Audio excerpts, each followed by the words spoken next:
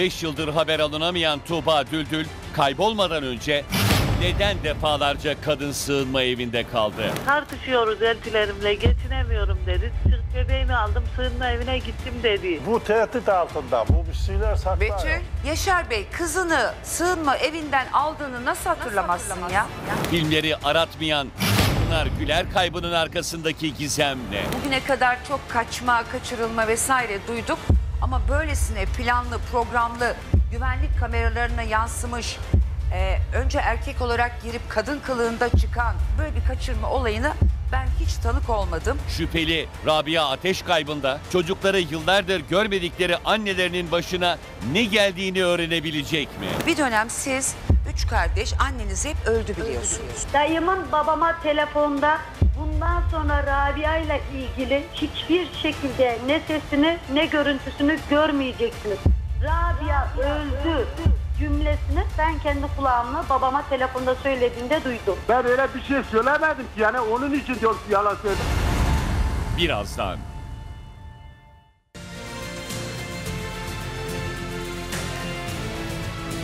Efendim merhabalar. Star ekranlarından hepinizi sevgiyle, saygıyla selamlıyorum. Ekranlarınızın karşısına hoş geldiniz. Güzel bir gün diliyorum. Önce sağlık, sonra huzur, bolluk ve bereket sizinle birlikte olsun. Hoş geldiniz ekranlarınızın başına. Efendim uzmanlarımız yine Murat Bey, e, polis eğitmeni ve güvenlik uzmanımız Murat Aydın işlerimiz için, bizim işlerimiz için sağ olsun İstanbul dışında koşturuyor. E, gerekli olursa tabii ki bize de oradan bağlanarak e, izlenimlerini aktarıyor. Adli tıp uzmanımız Doktor Taner Güven hocamız bizimle, hukuk danışmanımız, avukatımız Hasan Koca Bey de bizimle birlikte. Efendim hoş geldiniz. İyi programlar diliyorum. Sizler de hoş geldiniz. Hoş, geldiniz. Osman Bey ile başlamak istiyorum. Osman Bey 73 yaşında ve Battalbaş 73 yaşında ve e, yıllar önce çocukları olmadığı için bir kız evlat evlat ediniyorlar. Doğru mu Osman Bey? Doğru efendim. Ama yabancı değil o. Edindiğiniz kişi e, sizin karınızın Kardeşi. Kardeşi, kız kardeş. Annesi onunla evlendi. evet. Siz şimdi bir anlatın hikayeyi isterseniz Osman Bey. Şimdi annesi rahatsızdı. 2-3 ay kadar yattı. Bir gün evde rahatsızlandı. Hastaneye kaldırdım. Üç gün sonra vefat etti. Bu arada kız, benim kızım Bircan Gül bıraktı İstanbul'a gitti. İsterseniz şöyle yapalım, en baştan başlayalım. Bundan yıllar önce, 15-16 sene önce galiba değil mi? Ee, evlat edinmenizden başlayalım. Şimdi Osman Bey'in bir kayınbiraderi var. Kayınbiraderi bir evlilik yapacak. Yani karısının erkek kardeşi bir evlilik yapacak. Ee, ve bu evlilikte de Gülay Hanım'ın önceki eşi vefat etmiş. iki çocuğuyla dul kalmış. Evet. Ve kayınbiraderinizle evlenecek. Galiba çocuklardan birini istemiyor kayınbirader. İki çocuk fazla diye. Sizin de çocuğunuz olmuyor. Evet. Size evlatlık olarak veriyorlar. Tabii. Mahkeme kararıyla efendim. Kaç yaşındaydı o zaman İki. bir? İki yaşındaydı. Evet. Şimdi 17 olduğuna göre 15 senedir siz babalık yapıyorsunuz. Evet. Eşiniz rahmetli olmuş ama o annelik yapmış yıllarca. Evet. Peki e, kaç yaşındayken Bircan sizin öz olmadığınızı, öz annesinin orada olduğunu öğreniyor? 9 yaşındaydı. Siz mi söylediniz? Hayır. E, do- doğuran kadın söyledi. Biyolojik An- an- annesi, annesi söyledi. söyledi. evet.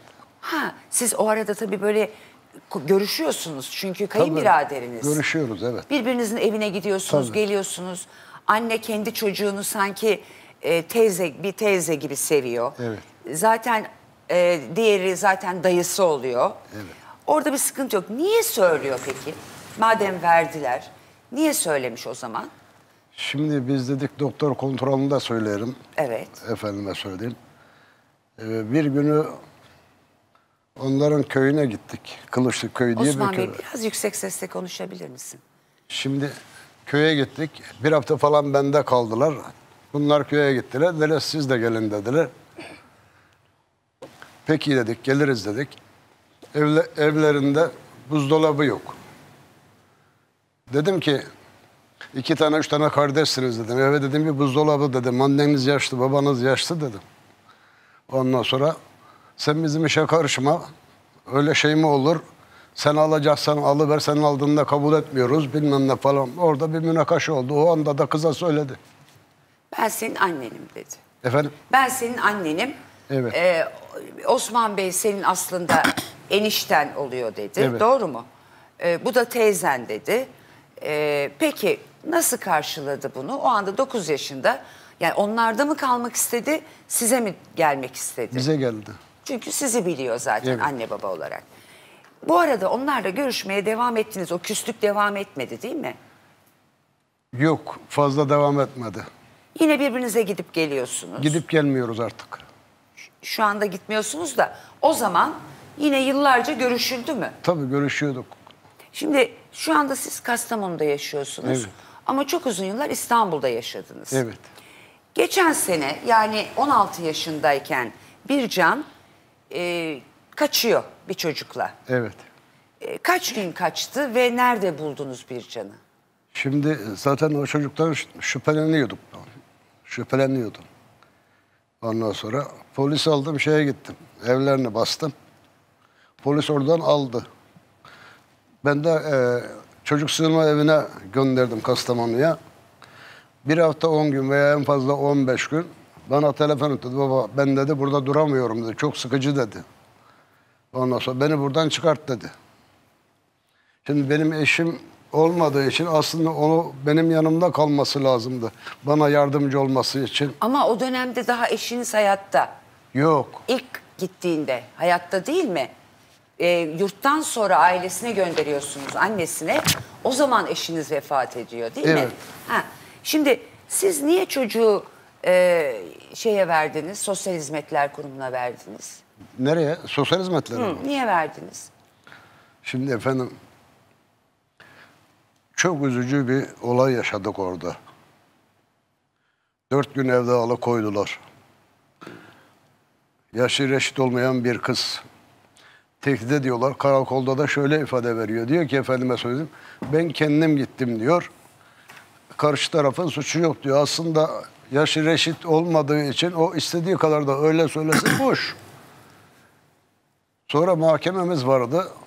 Çocuk mahkemeye gelmiyor. Ondan sonra hakim dedi böyle böyle dedi. Mahkemeye dedi gelmiyor dedi. Senin kızınla gelmesi lazım dedi mahkemeye dedi. Onun da gelmesi lazım ama ikinci sefere de gelmese dedi polisten dedi gene getiririz dedi. Tamam dedik. İki ay oldu şey ifade verelim ben. Peki Osman Bey o dönemde bu kızınızı bu çocuktan korumak için mi yuvaya verdiniz? Hani ben baş edemem yine evden kaçar ya da bu çocuk gelir kapıya dayanır. O yüzden mi yuvaya verdiniz çocuğu? Şimdi kız karakolda polisi öyle söyledi ama bana dedi ki baba dedi ben dedi tehdit gördüm dedi. Bunlar beni tehdit ediyorlar dedi. Efendime söyledim. Sen dedi şey yap dedi. Ben dedi burada dedi durmam dedi. Ben İstanbul'a gideceğim dedi. Peki kızım dedim ben de. Yani öz annesinin ve üvey babasının olduğu, kardeşinin olduğu Evet.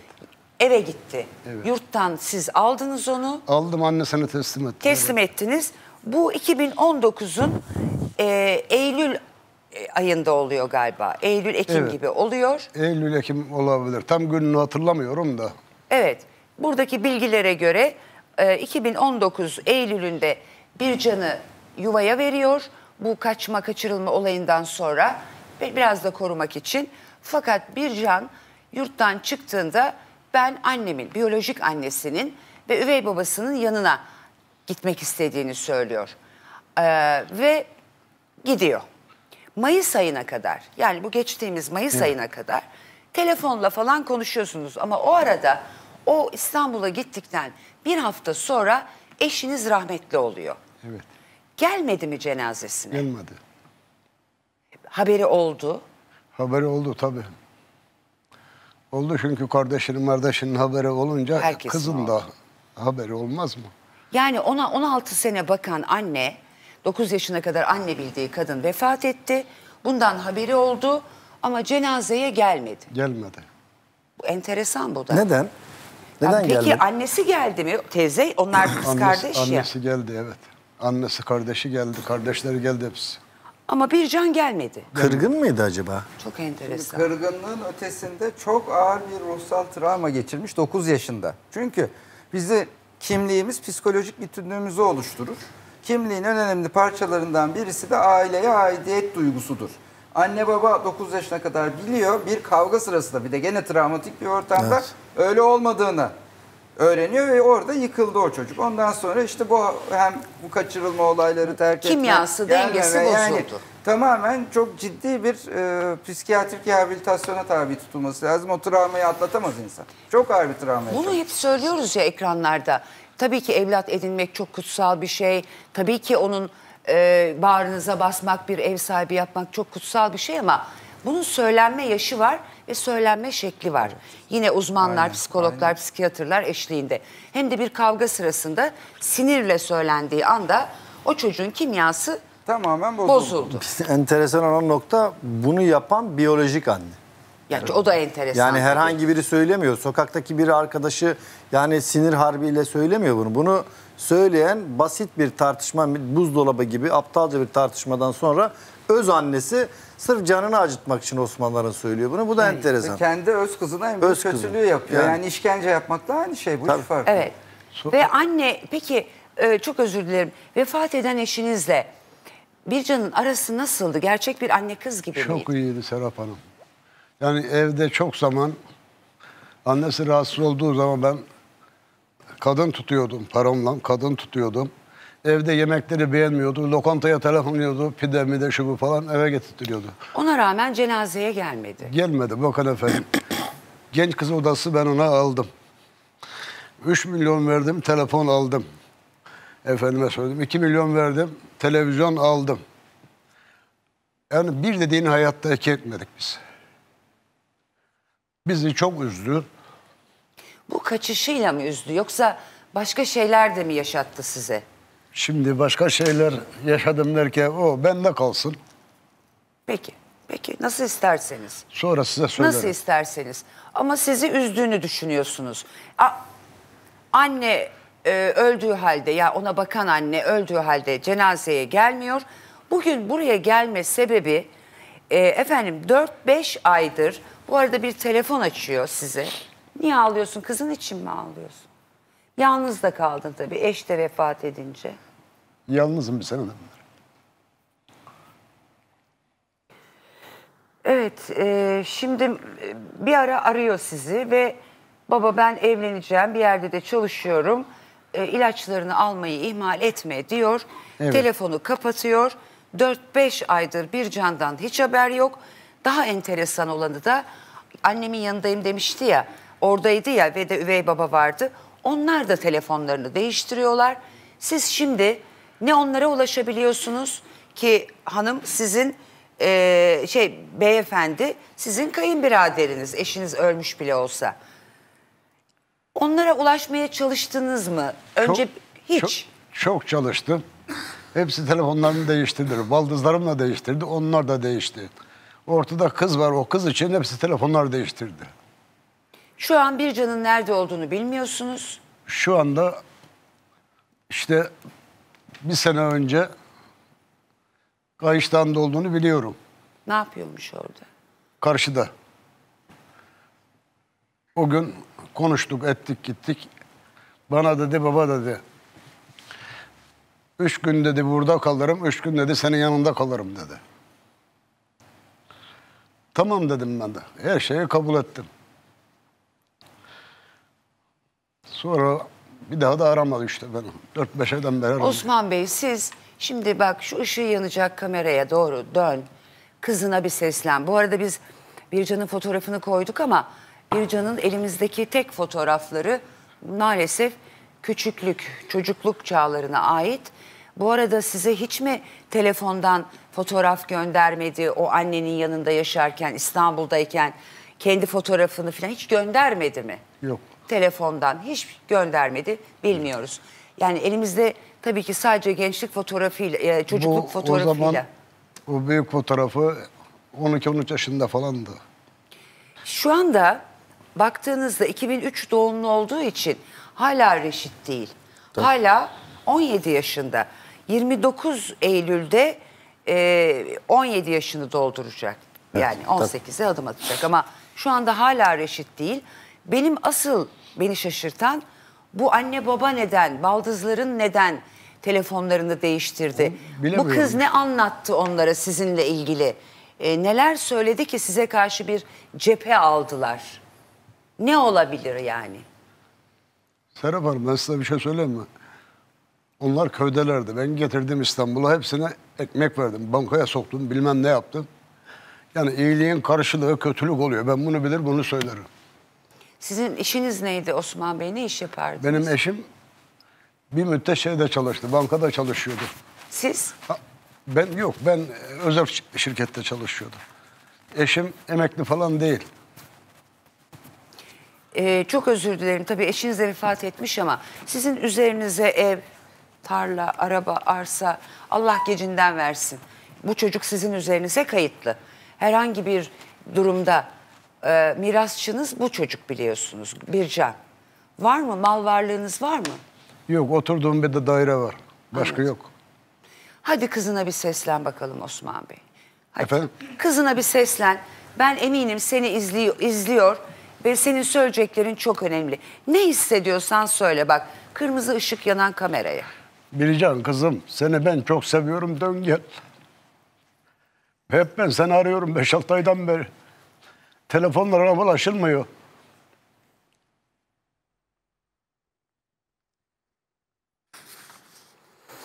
O kadar. Yalnız Evet. Osman Bey, yalnız, çok yalnız. Çok yalnızsınız herhalde. Kendi tarafınızdan akrabalar falan çocuğu da yok tabii başka. Serap Hanım ben sana bir şey söyleyeyim mi? Şimdi eşim sağken eş dost akraba çoğudu. Her gün iki tane sofra kuruyorduk. Onlardan 20 kişi oluyordu. Eşim öldükten sonra kimse kapımı açmadı. Gerçekten. Hiç kapımı açan olmadı. Hani o dostlar nerede? Efendim O dostlar nerede? Yok. Yemek masasına oturan. hepsi bitti. Hepsi bitti. Kızın bile sana sırt çevirdi. Bravo. Baldızların, işte kayınbiraderin. Ee, bu kızın gerçek annesi. Ee, ona da seslenmek istiyorum buradan. Yazık günah. En azından bir iletişime geçin. Kızın başına ne geldi bilsin. Ee, 15 sene emek vermiş. O dönemde kocanız kabul etmemiş çocuğu. Sizi kurtarmış bir anlamda da. Hem kendi evlat sahibi olmuş ama hem de sizi e, o beyefendi ben iki çocuk fazla dediğinde ısrar etseydiniz, verecek yerim yok deseydiniz belki bu evlilik gerçekleşmeyecekti. Yani. O anlamda da size destek çıkılmış. Lütfen bizimle bir iletişime geçin. Gerçekleri bize bir anlatın. Neden bu kadar Osman Bey'e karşı ailece tavır aldınız? Şimdi bekleyelim biraz Osman Bey. Belki bir haber çıkar ya onlardan ya kızından. İnşallah. Ben de yalnız e, oturduğu ye- sokağı biliyorum orada. Hangi sokak ama evi bulamam şimdi. Tamam. İnşallah onlar bizi arar. Kendine bakabiliyor musun? Evde her şeyini kendi... Bakamıyorum Serap Hanım. Hep kuru yiyorum bakamıyorum. Ya kimse yok yani kapını çalışıyor bir yemek yapayım bir sıcak yemek vereyim diyen kimse yok mu? Yok hiç kimse vermedi. Bir komşu getirdi Ramazan'da. Sen dedi oruçsun dedi. Çorba falan yaptırmış hanımına. O getirdi. Başka getiren olmadı. Sen ne yiyorsun yani? Ben ne yiyorum? Makarna yiyorum. Kıymalı yumurta yiyorum. Domates salatası bunları yiyorum. Kendin yapıyorsun. Kendim yapıyorum. Dışarıda falan sulu yemekler satan yerler var ya oralardan güzel beslen biraz olur mu Osman Bey? Serap Hanım şimdi Moralin de bozuk tabii o yüzden. Benim 16 milyon borcum var. Kime? Kıza bankadan para çekmiştim. Kredi. Kredi çekmiştim 15 milyon. Onu parayı ödeyemedim. 850 milyon maaştan para kesiyorlardı. Ondan sonra hanım hastalanınca 200 sefer Ankara'ya gitti geldi özel hastaneye. Oraya verdim. Bir arkadaştan aldım 4 milyar para. E, 4 milyonda şey e, kira gelir vergisi çıktı. Bunlar kabardı da kabardı. Peki Osman Bey bu 16 yaşındaki çocuğa niye sen o kadar para çektin? Ne için çektin bu parayı? Şimdi hepsini ona çekmedim. İşte hanım İstanbul'a gitti, Ankara'ya gitti geldi. Özel doktorlara gidiyordu. Biraz ona harcadım. Kıza işte şey aldım. Telefon vesaire bir Telefon aldım. aldın. Bircan hiç okula gitmedi mi? Gitti liseden ayrıldı. Liseden bıraktı liseyi. Bıraktı evet. Anladım. Ee, Yani imkanlar kadar- da olmayınca. Bu kadar şey yapsın ondan sonra Allah gecinden versin Osman abi öldüğünde bir can hem evini hem de maaşını alacak. Varsa annesinin de maaşını alacak ama şu dönemde şu adamı şöyle yapayalnız bırakıyor. Ben sana bir şey söyleyeyim mi? O evi sat. Kesinlikle, Borçlarını öde. kesinlikle. Bankaya koy. Onun geliriyle güzel küçük kendine göre bir ev tut. Aslanlar gibi yaşa. Bravo. Ye, iç, İç. gez. İki seneden beri. Hiç yetmiş- Mirasını da bırakma. Ha, 73 yaşındasın. Daha bu kadar mı yaşayacaksın? Şimdi şöyle bir şey var. İki seneden beri ev satılık. Fakat inşaat sektörü durgun. Ben 150 milyon dedim para yatırayım şey yaptıktan sonra. Dediler ki efendime söyleyeyim 1400 lira para veriyor 150 milyon paraya banka. Ben 15 milyon çektim 22 milyon ödedim. Tamam. Osman Bey benim sana söyleyeceğim, benim tavsiyem bu. Bu kız da çıkarsa da bir çıksın bakalım. Diğerleri de bir çıksın. Bir arıyor, arıyor. Böyle yalnız kaldığı için de e, elini ayağını çekmiş olabilir herkes. Ama dediğim gibi sen önce kendine bak. Efendim e, Rabia olayına geçiyoruz. E, Rabia çok enteresan bir kayıp. Çocukları burada ve e, Rabia ile ilgili de e, enteresan bilgiler, enteresan yalanlar, dolanlar var. E, bir izleyelim efendim. Öldü bildikleri 45 yaşındaki anneleri Rabia Ateş'in tesadüfen yaşadığını öğrendiler. Üç kardeş yıllar sonra annelerinin peşine düştüler. Bir dönem siz üç kardeş anneniz hep öldü biliyorsunuz. Özgül'ün doğumu sırasında e, annenizin yaşadığını öğrenince tabii polis devreye giriyor. Öldü iddiasını kim ortaya attı? Dedikodu mu çıkmıştı eşiniz hakkında? Evet, evet. değil mi? Komşular böyle o ileri geri şeyler söylüyorlardı evde olmadığı için. Bunu kim söylüyor size anneniz öldü diye? Kalp krizi geçirdi. Kim söylüyor bunu? Ya babam, babaannem, Heh. halam. Cinayete mi kurban gitti? Dayımın babama telefonda bundan sonra Rabia ile ilgili hiçbir şekilde ne sesini ne görüntüsünü görmeyeceksiniz. Rabia öldü cümlesini ben kendi kulağımla babama telefonda söylediğinde duydum. Ben öyle bir şey söylemedim ki yani onun için diyorum ki yalan söylüyor. Ben öyle bir şey demedim. Rabia Ateş yaşıyor mu? Sahiden enteresan bir kayıp. Ee, Rabia Ateş, hala Ateş soyadını kullanacağız. Çünkü 97 ya da 98 yılında Rabia Hanım bir anda buharlaşıyor.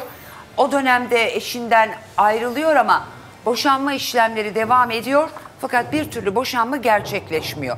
98'de gittiyse 22 sene oldu. 97'de gittiyse 23 sene oldu. Şimdi şöyle bir bakıyorum. Burada e, bugün Özlem de geldi, kızı Özlem. E, Abdullah 28 yaşında, 92 doğumlu. Evet. Özlem 99 doğumlu. 93. E, 93 doğumlu, 27 yaşında. Evet. Özgül diye bir kız kardeşleri var. O da 95 doğumlu, 25 yaşında. Aslında eğer ki 98 yılında gittiyse zaten e, Özlem de şeyde Özgül de 6 aylık olamaz. Evet, Doğru mu? evet. Yeniden hesap yaptığında Özlem kaç yaşında oluyorsunuz siz? Şimdi abim o zamanki tarihle çünkü ben 7 yaşındaydım 2000 yılında annem okula geldiğinde. Yani Özgül 6 aylık değil annemin kaybında 3 yaşındaydı. Olması lazım. Evet. Bravo. Yani 6 aylık değildi yani. Evet orada bir yanlış hesap hatası var.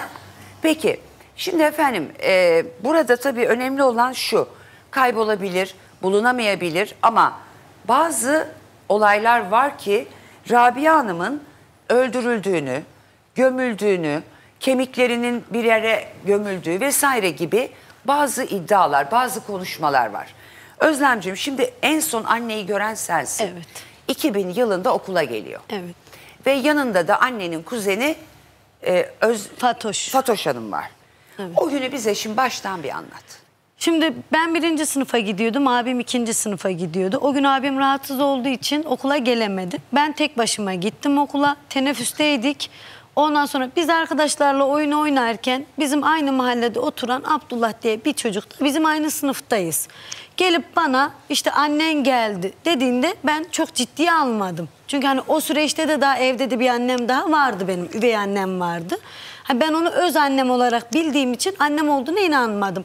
Neyse geldim tam kapının okulu sınıfın önünde annemi gördüm. Ondan sonra uzun boylu pantolon giymiş üstünde tişört kafasında yazma vardı. Yanında da o dediğim Fatoş vardı. Annem beni kucağına almaya çalıştı sarıldı öpmeye çalıştı. Tabii ben inanmadım tekme falan attım. Neyse o sırada bizim arkadaşlar aileme haber veriyor benim aileme. Benim ailem gel gelene kadar biz okula müdür odasına çıktık. Biz müdür odasına çıkınca annem bana resim gösterdi. İşte üç kardeşimin bir de annemin olduğu bir resim. Ben o an anladım ki evet gerçekten annemmiş. Hani annem olduğuna inandım.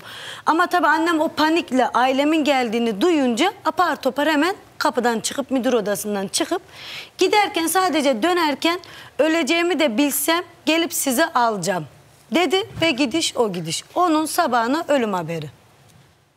Ee, şimdi ölüm haberi nasıl geliyor onu da anlatsın bize. Çünkü babasıyla karşı taraf arasında Rabia'nın e, ailesi arasında dayıyla bir konuşma geçiyor. Evet.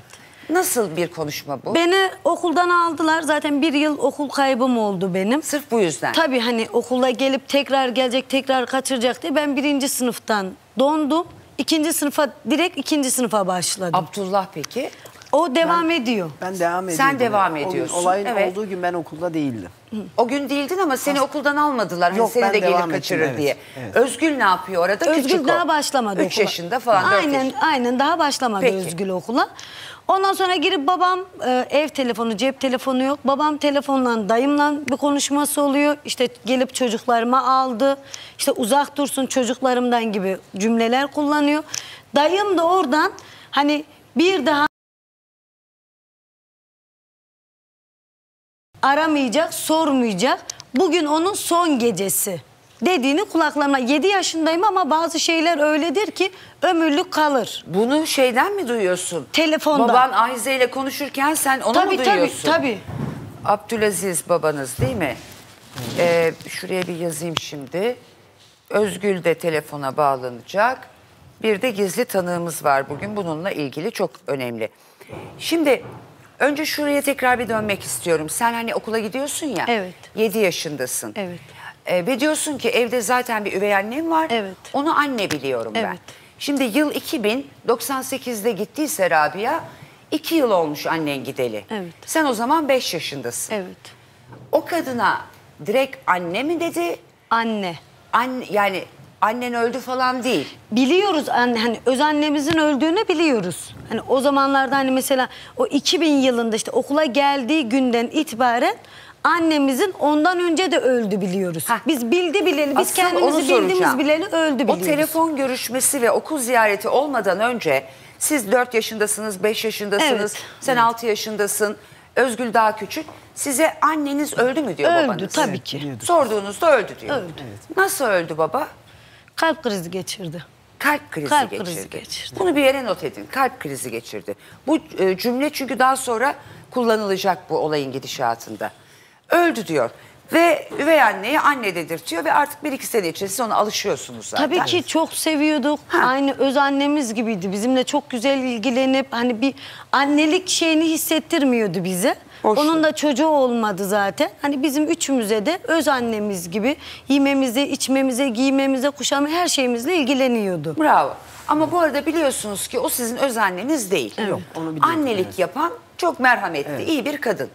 Aynı zamanda babamın dayısının kızıydı zaten. Anladım. Dini nikah yapıyorlar çünkü anneyle henüz boşanılmıyor. Hala boşanılmadı. Ve e, ilk defa sen anneni kanlı canlı gördün Evet. o gün. Giderken de dedi ki ben sizi ölsem de gelip alacağım. Akşamına böyle bir konuşma yaptığını söylüyorsun. Evet. Ve sen 7 yaşındasın. Baban ev telefonuyla konuşuyor. Evet. Ve sen dayının cevabını da duyuyorsun. Evet. Bütün konuşmaları duydum yani. Hangi Çünkü dayı aynı bu? oldu. Ali dayı. Ali dayım. Ali dayım. Peki şimdi önce o zaman bir babanızla konuşalım. Abdülaziz Bey merhaba. Kapattı mı Abdülaziz Bey? Peki. Özgül'ü kardeşinizi o zaman hemen e, telefonda konuşayım onunla. Özgül merhaba kızım. Merhaba. Şimdi aslında sevgili seyirciler her şey 2000 yılında anne geldi evet vesaire ama e, o olay öyle kalıyor. Annem öldü e, diye biliyor. İşte babayla dayının konuşmalarını duyuyor. Fakat asıl olarak olayın gidişatının değiştiği nokta Özgül'ün 16 yaşındayken e, doğum yapması. Bu sebeple de hastaneye yatması. Yıl kaç o zaman Özgül? Yıl o zaman 2011'de. 2011. Sen doğum yaptın fakat yaşın küçük olduğu için orada tabii devreye girildi. Ee, polis geldi. Hani sen kimden hamile kaldın? 16 yaşındasın, reşit değilsin vesaire. Sana annen kim, baban kim dediler. Doğru mu? Evet. Şimdi annenle ilgili ne dedin sen onlara? Ya ben hani annemin öldüğünü bildiğim için ben dedim ki biz annem 6 aylıkken öldü. Bizi babaannemle babam büyüttü. Halalarım babam büyüttü dedim. Hani onlar bizi yani evlilik yaptığımızda onlar büyüklerimiz başımızdaydı dedim. Yani düğün oldu. Ee, bu bu şekilde anlattım ben. Sonra dedi ki ama dedi senin annen dedi sağ gözüküyor dedi. Ölmüş değil ki dedi. Ben o anda beynimden vuruldum. Tabii ki beyninden vuruldun. Bunun üzerine tabii ki bu olay Ankara'da gerçekleşiyor değil mi Evet Özgül? Ankara, Ankara Sincan'da gerçekleşiyor. Biz zaten o sıra beraberiz Özgül'le. Doğum yapacak sen de Tabii tabii yanındasın. ben ondan önce doğum yapıyorum. Benim de e, yaşım aynı şekilde reşit değildi. O zaman 18 Hı hı. yaşımın altındaydım. Ama bende öyle bir sorun çıkmamıştı. Ee, peki o dönemde sen e, nikah falan yapamadın herhalde Özgül değil mi? Yok ben tabii anne olmayınca tek baba tek taraflı da olmuyor diye nikah oluşmamıştı. Peki yavrum. Mahkemeden izin alamamışlardır. Evet o yaş o- olamadı. Onun için de anne soruşturuldu. Ö- öldü beyanından sonra da Ankara Emniyeti Gaziantep Nizip jandarmasına haber veriyor. Ee, ben bir de bir şey söylemek Söyle istiyorum. yavrum. Ee, ben dün çok yani sabah kadar uyumadım ama şu benim çok iyi aklıma geliyor. Tabii biz bekarken e, böyle para karşılığı iş yapıyorduk. İşte fıstık kırıyorduk, ne bileyim kazak dikiyorduk. O zaman ben e, fıstık almaya gittiğimde bir tane kadın beni böyle eve götürdü. Tabii ben o arada bağırıyorum. O zaman anneannem vefat etmemişti. Hı hı. Dedemle anneannem vardı. Kadın böyle beni içeriye götürdü. Dedi ki bak dedi bu senin anneannen dedi, deden dedi. Hatta bugünün itibariyle hatırlıyorum. Anneannem o zaman bana 5 lira para verdi. Ben hemen koştum eve. Babaanneme dedim ki böyle böyle dedim. Beni dedim biri tuttu para verdi. Babaannem o eve kavgaya gitti. Hatta kadının adı Meryem ama kısaca Meme diyorlar. Bu anne, Ee, e, anneannenin adı mı o? Hayır o beni evine gittiğim Götüren kadın. kadın, Yani evet. götüren kadın, yoldan çeviren kadın. Babaannem o eve gitti. Dedi ki neden benim torunumu böyle bir şey yapıyorsunuz? Kız çok korkmuş. Peki yavrum bu olay nerede gerçekleşti? Gaziantep Çıksorut'ta. Gaziantep'te. Yani hala annenin ailesinin orada yaşadığı bir dönemden Hepsi, bahsediyoruz. tabii, tabii, hala şu anda orada Dayılar, yaşıyorlar. anneanne Tabii, tabii. o zaman Dayım köyde. Evet, Dayılarım o köyde zaman yaşıyor. anneannem, he, anneannem o zaman bana 5 lira para vermişti.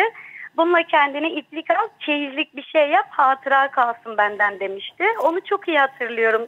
Ee, söyleyecektim ama fırsat bulamamıştım. Bunu Özgürcüm, dile getirmek istiyorum. Kaç yaşındaydım demiştin o zaman? Ya yani tam hatırlamıyorum ama yine belki varmışımdır. 10-11 yaşlarında falan varmışımdır. O zaman e, 10 yaşında bile olsam bu olay 2095 2005'te gerçekleşiyor. Doğru mu? Hemen hemen öyle bir şey. Evet. Çünkü 2005. ben kork- korkarak eve kaçtım geldim. çok Bu korkmuştum. çocuklar ne Hani kadar ağır böyle- şeyler yaşamışlar. Evet, evet. Hepsi Çok, ayrı ayrı çok. yani inanılmaz. Yavrum, Nasıl ya, ayakta yıllar hayret oldu ediyorum. 2005'te yani annen 98'de kaybolsa 7 sene sonrasından bahsediyorsun. Evet o zaman anneannem ölmemişti. Tamam.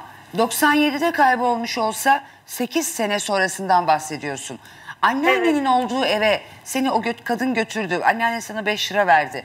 O evde anneannenden başka kimseyi gördün mü? Anneannem vardı, hacı dedem vardı, o kadın vardı. O kadın da babaannemgilin hemen üst sokağında oturuyor. Çok yakın mesafede. dedemle anneannem e, Antep'e gelmişler. Demişler ki ben ölmeden bir kere çocukları göreyim başka bir şey istemiyorum. Sonra o kadın ben giderken o kadın bana dedi Özgül bir gelsene dedi ama ben e, gitmedim. Dedi ki gel dedi sana bir şey söyleyeceğim dedi. Ben direkt avluya girdim bir yaşlı kadın bir yaşlı dede. Bak dedi bu senin annenin annesi ve babası dedi. O arada anneannem bana 5 lira verdi. Bununla çeyizlik bir şey yaparsın hatıra kalsın dedi. Ondan sonra da anneannemin öldüğünü duyduk. Şimdi o götüren kadın muhtemelen senin anneni de tanıyan bir kadın. Ama o Tabii gün o annemlerin evde... akrabası oluyor. Evet o gün o evde annen yoktu. Anneannen Yok, ben ve annemi deden görmedim. vardı. Olsaydı Evet. muhakkak annen de sana sarılacaktı. Ben senin annenim diyecekti. Yani Tabii ki de. annen kaybolduktan 7 ya da 8 sene sonra hala anneannenin ve dedenin yanında değildi o tarihlerde. Şimdi Değildi. evet babanla bir Çünkü- konuşalım. Evet canım söyle. Çünkü anneannem bana sarıldığında hep Kürtçe ağıtlar yakıyordu. O zaman ben tam Kürtçeyi de tam bilmiyorum ama sürekli ağlıyordu böyle bana sarılınca. O, o dönemin zamanında 5 lira verdi bana. Yani Bunu kendine bir şeyler alırsın. Evladı ölmüştür Evladı de, yani annenle onun bir ilgili parçasını görünce, Herhalde. onun kokusunu duyunca ağlar, ağıt yakar. Sana annenle ilgili hiçbir şey söylemedi mi? Cümle kurmadı mı? Ben hiç hatırlamıyorum yani. Şimdi ne desem bilmiyorum ama hiç o döneme ait. Hiç sadece bunu çok iyi hatırlıyorum. Ya bu dönemi birebir yaşadım. O kadının evine girdim. Onlar bana para verdi. Koşarak eve gittim. O dönemi çok iyi hatırlıyorum.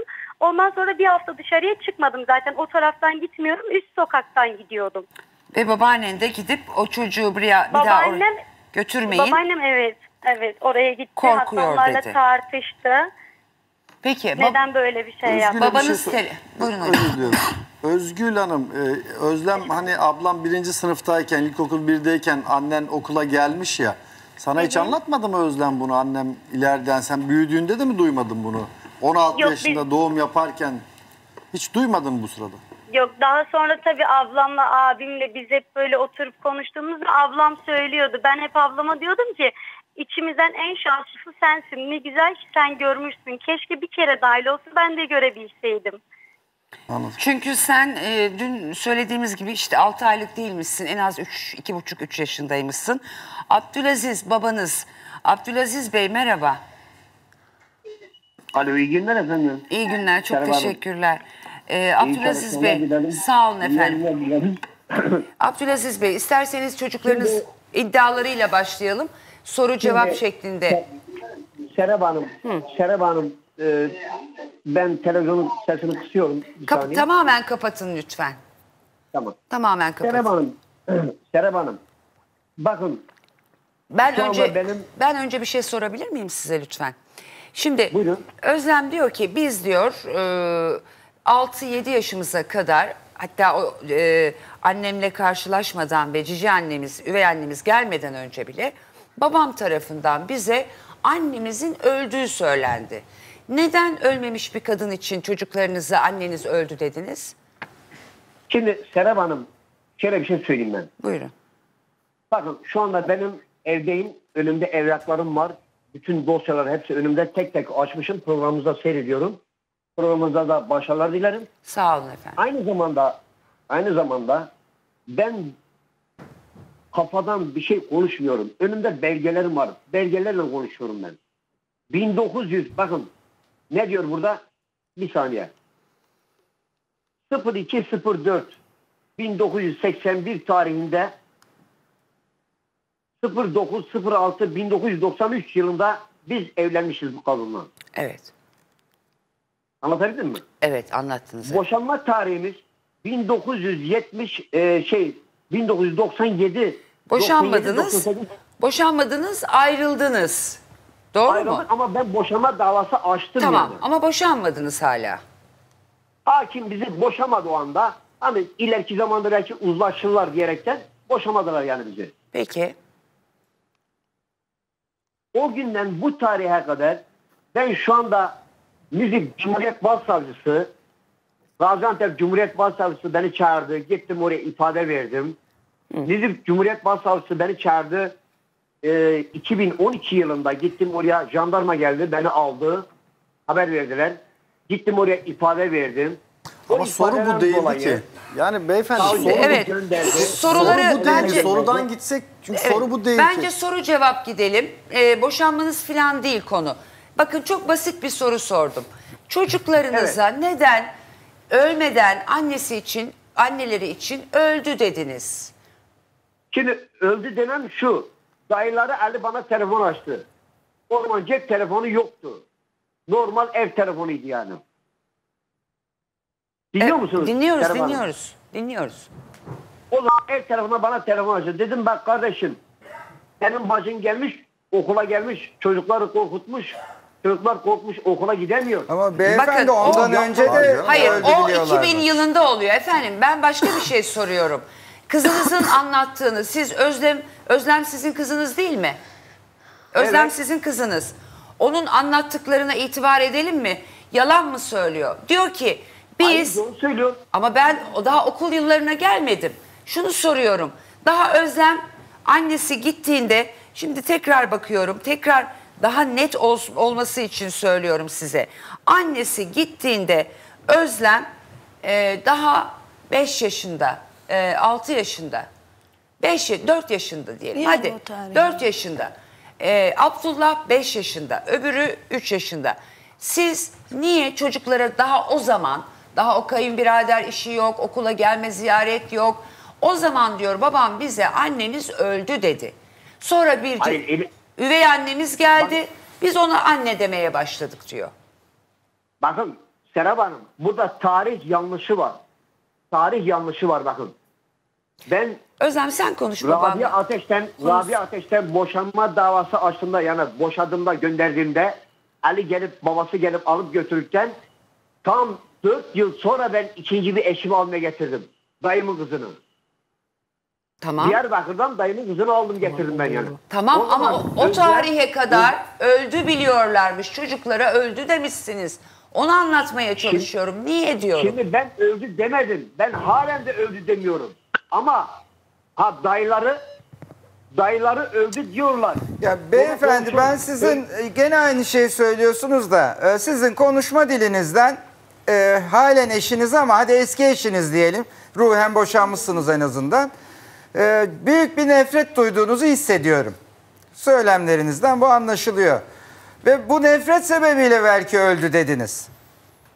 Aramasınlar, Bir daha sormasınlar. aramasınlar, bir daha asla görüşülmesin. Yani çok büyük bir kabahati olduğuna inanıyorsunuz e, eski eşinizin ve ondan nefret ediyorsunuz. Bu sebeple de öldü dediniz. Bizim tahminimiz bu. Size bunu Sayın- soruyoruz. Sayın sa- sayın avukatım. Yok ben avukat değilim, Sayın doktorum. Efendi, Doktor bey, sayın doktor bey. Şimdi ben eğer o o kadını eğer nikahından alıp atmışsam babası abisi gelip götürmüşse benim o kadından bir işim yok. Zaten gitti gideli iki ay sonra da başka bir koca vermişler. Senin işin Ben yok da çocuklarının işi var. yani. Abdülaziz Bey senin işin kalmayabilir ama çocukların annesiyle işi biter mi sen boşandıktan sonra? Sen çocuklarına Hayır, niye öldü demişsin? Onu yani. soruyoruz. Tabii Altındaki nefreti yani. soruyoruz. Özlem sen konuşsana babanla. Yani ben ne kadar anlatsam e, dolaylı anlatmış oluyorum senden dinlediklerimi.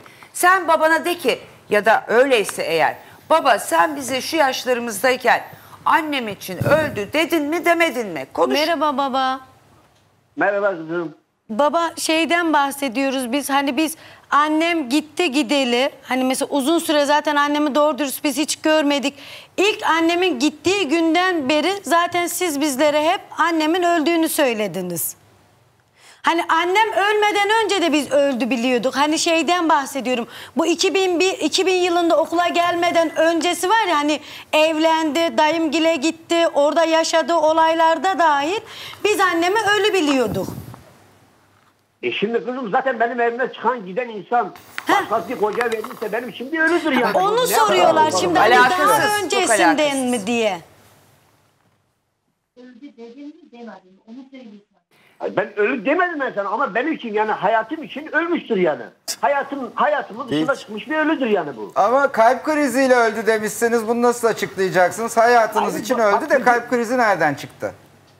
Kalp kriziyle herhangi ben doktor değilim. Raporu Hayır çocuklarınız değilim. bunu söylüyor. Neden öldü annemiz Ama demişler. Kalp çocuk- krizinden öldü demişsiniz. Bunu söyleyebilir ama ben çocuklarıma böyle bir şey sö- söylemem doktor bey. Bunu söyleyen dayıları yani.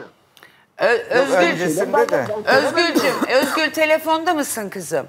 Evet telefondayım. Sen ne zaman annen için öldü lafını duydun ve kimden duydun? Kaç yaşındaydın? Serap Hanım e, kim olursa olsun yani sokakta akrabalar, sülaleler herkes bize anneniz öldü dedi. Yani bu mesela sorduğum zaman işte keşke olsaydı da şöyle olsaydı böyle olsa dediğimiz zaman annen öldü. Ama Siz bunu küçüktünüz, bıraktı gitti annen öldü Bunu- dayıların götürdü. ha, bunu söyleyen hep baba tarafı doğru mu?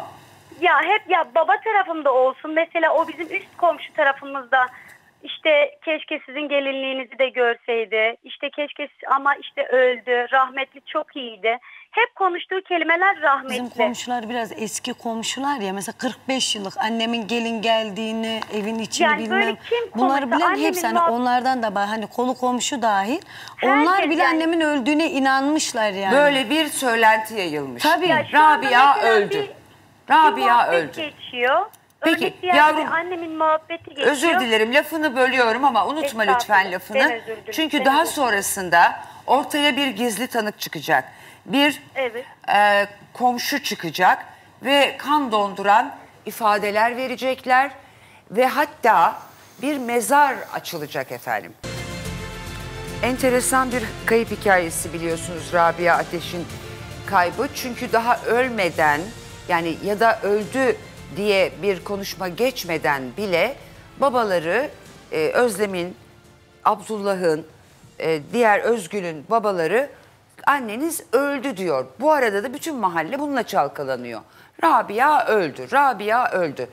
İyi kadındı, şöyle kadındı. Ta ki 2000 yılında Rabia'nın e, Rabia yanında kuzeni Fatoş Hanım'la birlikte Özlem'in okuluna gelip ben senin annenim deyip fotoğraf gösterinceye kadar. Şimdi asıl buradan sonrasında sizin aileniz okulu basıyor. Annen korkuyor, kaçıyor ve akşam sen babanla dayın arasında bir konuşmaya tanık oluyorsun. Ee, Abdülaziz Bey telefondaysa hemen tekrar onu bir almak istiyorum. Abdülaziz Bey. Efendim? Efendim Hanım. sizden bir ricam var. Lütfen sorduğumuz sorulara net cevaplar verirseniz konuyu dağıtmamış oluruz. Diyor ki e, Özlem, annem geldi okula sonra babam ve ailesi okulu bastılar ve dayımı aradı ev telefonundan. Bir daha benim çocuklarımdan uzak dursun hiçbir şekilde arayıp sormasın dediğinde dayım ona bir daha arayıp sormayacak asla yüzlerini bile görmeyecek. Devamında ne diyor? Ondan sonra bir daha hiçbir şekilde görmeyeceksiniz. Bu onun son Görmeyeceksin. gecesi diye bir Son şey. gecesi.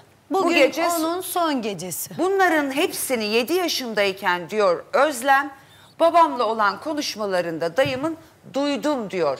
O geceki konuşmaları siz hatırlıyor musunuz? Vallahi Serap Hanım şu anda hatırlamıyorum. Yani kaç yıl? 27 yıl, 25 mi, 20 yıl, 27 yıl oldu yani bu. Yok 2000 Evet, yılı, bir tarih. 2000 yılı 20 sene evet ama bu unutulacak bir konuşma değil. Şöyle bir konuşma değil. Ne var ne yok, işler nasıl, ne yapıyorsunuz gibi bir konuşma değil. Benim çocuklarımdan uzak dursun. Bir daha aramasın, sormasın. Karşı tarafta iddiaya göre merak etme bir daha aramayacak, sormayacak, yüzünü bile görmeyecekler. Çünkü bu gece onun son gecesi. Bu unutulacak bir konuşma değil. Bakın 7 yaşındaki Özlem hala bu konuşmayı hatırlıyor. Siz hatırlamıyor musunuz? Siz hatırlamıyor musunuz efendim? Serap Hanım inan ki yani o konuşmayı yani e, bugün son gecesi veya yarın son gecesi gibi böyle bir e, cümle bilmiyorum hatırlamıyorum yani. Ha, belki telefon açmışımdır yani gelse, bir daha gelip benim çocuklarımı rahatsız etmesin. Okulda rahatsız etmesin. Çocuklarım korkuyor. Efendime söyleyeyim işte e, tedirgin içindedir demiş olabilirim ama Neden bu kadar- sonra Umarı o, Neden? yani o, o kelimeleri bilmiyorum ama şu var Serap Hanım bakın Serap Hanım Evet buyurun dinliyor musunuz beni? dinliyoruz. Şimdi 2012 yılında 2012 yılında bir dinlerseniz beni 2012 yılında Nizip Cumhuriyet Cumhuriyet Başsavcısı beni çağırdığında ben gidip ifade verdiğimde aynı gün Cumhuriyet Başsavcısı bana dedi ki kardeşim bizim seninle işimiz yok. Sen dön evine git dedi. Ben evime geldim. Antep'e geldim. Nizip'ten. Evet. Bir gün sonra mı artık iki gün sonra mı bilmiyorum. Ben tabii ki onların köylülerinden yani ben burada onların köylüsü olan burada konu komşum var yani komşularım var yani. Birkaç mezar eştirmiş savcı tarafından talimat verilmiş jandarma tarafından.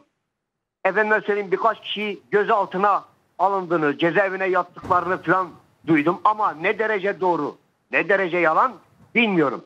Şimdi eğer böyle bir şey olmuş olsa Serap Hanım yani böyle bir olayda benim parmağım olmu- olmuş olsa neden savcı beni alıp da gel kardeşim nerede bu ceset ve nerede bu kadın? Çünkü en son ben en son Yani gördüğümde Bu işte parmağınız parmağınız olduğunu Hanım, söylemiyoruz. Serap Bakın dinleyin Serap- lütfen. Serap Hanım, Parmağınız Hanım, olduğunu lütfen. söylemiyoruz. Sadece bilginiz olabilir mi? Yani Rabia'nın öldüğünü duymuş olabilir misiniz? Ama siz Ya bunu bu- örtbas etmiş olabilir misiniz? Bakın, Serap Hanım şu anda benim komşum var. Aynı köyden. Aynı köyden. Onlar da biliyor yani. Onlar da biliyor ki yani onlar da duymuştur yani. Ama Yani orada bir öldüğünü, ama bu bir yayılmış köyde- zaten. Yayılmış. Nasıl yayılmış yani? Çünkü bu kadın e, normal yollarla ölmüş olsaydı nüfustan düşürülmesi gerekirdi. Ama Evet, kadın evet. halen nüfusta yaşıyor görünüyor. Bu demektir Evet. ki ölmüşse bile normal yollarla ölmemiş, e, cinayete kurban gitmiş, bir yere atılmış, gömülmüş ve hala cesedi bulunamamış. O yüzden de halen nüfusta Rabia Ateş yaşıyor görünüyor. Normal bir ölüm değil bu. Öyle mi? Evet, Kesinlikle. kesinlikle. Yani bir de e, yani biz şüpheli sıfatıyla yaklaşmıyoruz ki. Abdülaziz Bey'e. Biz yani çocuklarının annesinin başına ne gelip gelmediği noktasındaki geçmişe Ben dair zaten unutulması, hayatın olağan akışına aykırı bilgileri soruyoruz. Hayır biz de öyle düşünmüyoruz. Sadece o kadar nefret ediyorsunuz ki bakın üç tane çocuk bırakıyor bu kadın geride. Biri üç, biri beş, biri yedi her neyse yaşında. Ve e, iki sene sonra bir kızını görmeye geliyor okula. Ve siz baskın yapıyorsunuz okula ve dayıyı arıyorsunuz. Benim çocuklarımdan uzak dursun. O sizin çocuklarınız değil sadece. Bu kadar Rabia Hanım'dan neden nefret ediyordunuz? Abdülaziz Bey. Şimdi nefret etmemin sebebi şudur. Bakın Serap Hanım. Daha açık konuşun Benim şu anda yani. önümde dilekçelerim de var.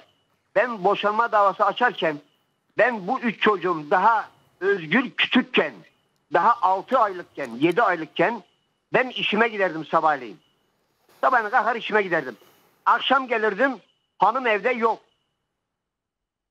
Beklerdim gelir. Neredesin oğlum sen? Neredesin? E ben filanın evine gittim. Ne işin var filanın evinde ya? Sen demiyor musun akşam benim kocam gelecek. Yemek yapayım benim çocuklarım aç mı tok mu?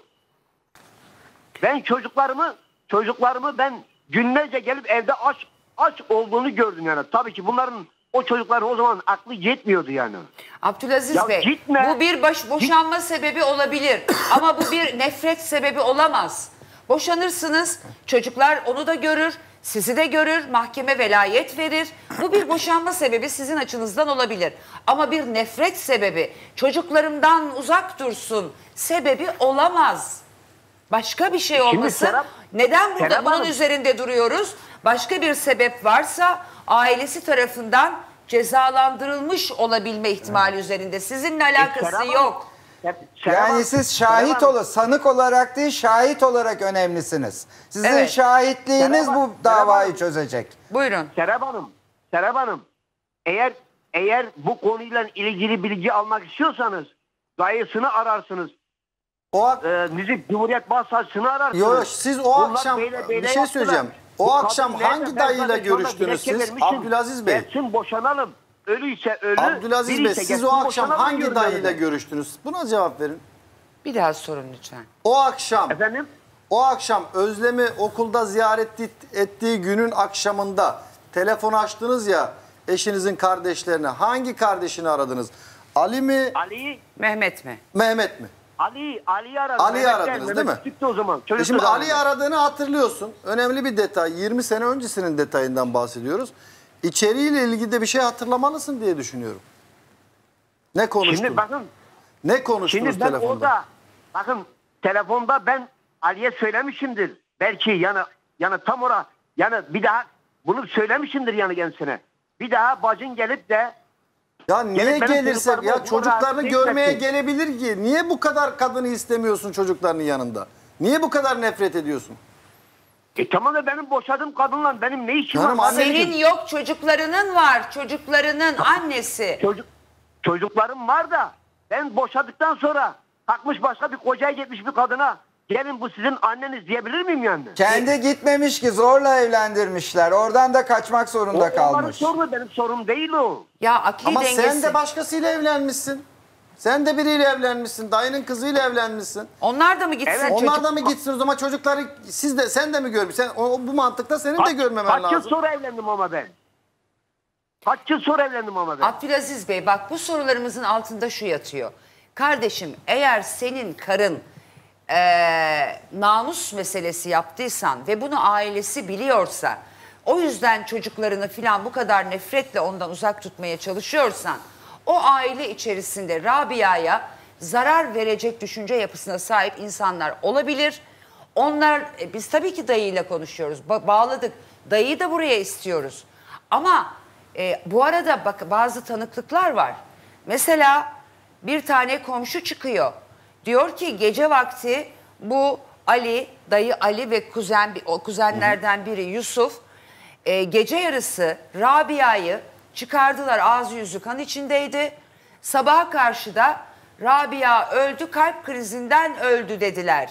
Bak sen de biraz önce çocuklarına demişsin ki ya yıllar önce anneniz kalp krizinden öldü. Bu komşu gidiyor tanıklık yapıyor. Bu Yusuf ve Ali ile ilgili.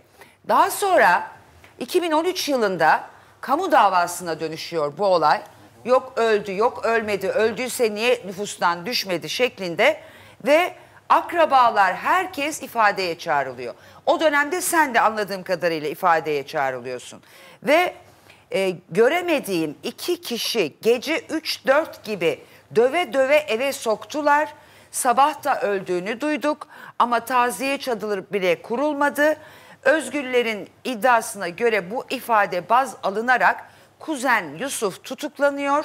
İkinci mahkemede komşu ifadeyi değiştiriyor. Diyor ki benim o Mehmet'le bir ilişkim vardı. Diğer amcayla, e, dayıyla bir ilişkim vardı. O yüzden düşmanlık ettim ve bunu söyledim.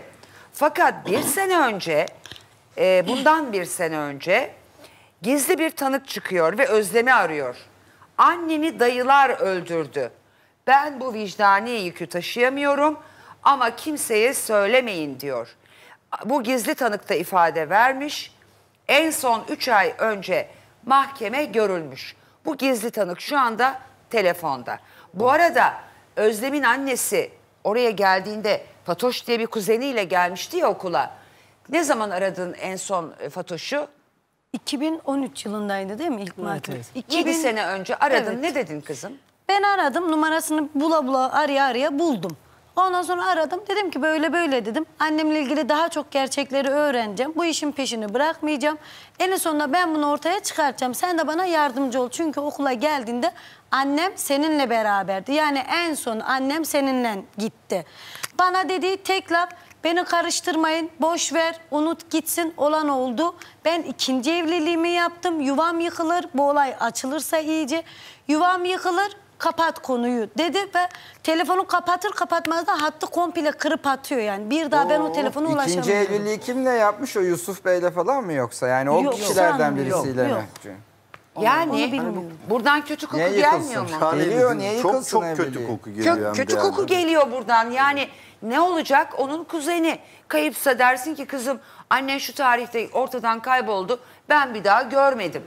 Ee, ama beni bu işe bulaştırma. Bu konuyu hiç açma deyip ondan sonra da telefonları, numaraları değiştirmesi buradan kötü kokular geliyor.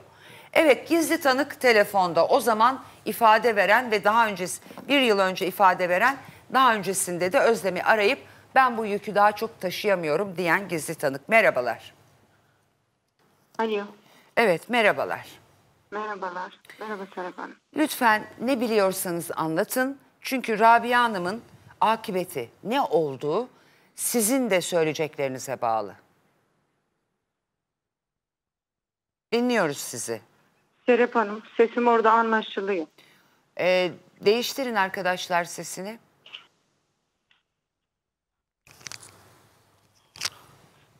Tamam, değiştirmişler. Ee, siz de biraz isterseniz konuşma ha- halinizi değiştirin. Evet, buyurun. Alo. Buyurun. Sesim geliyor mu şu an? Geliyor. Siz de biraz tarzınızı değiştirin. Değiştirdik biz mümkün olduğunca. Buyurun. Bir saniye.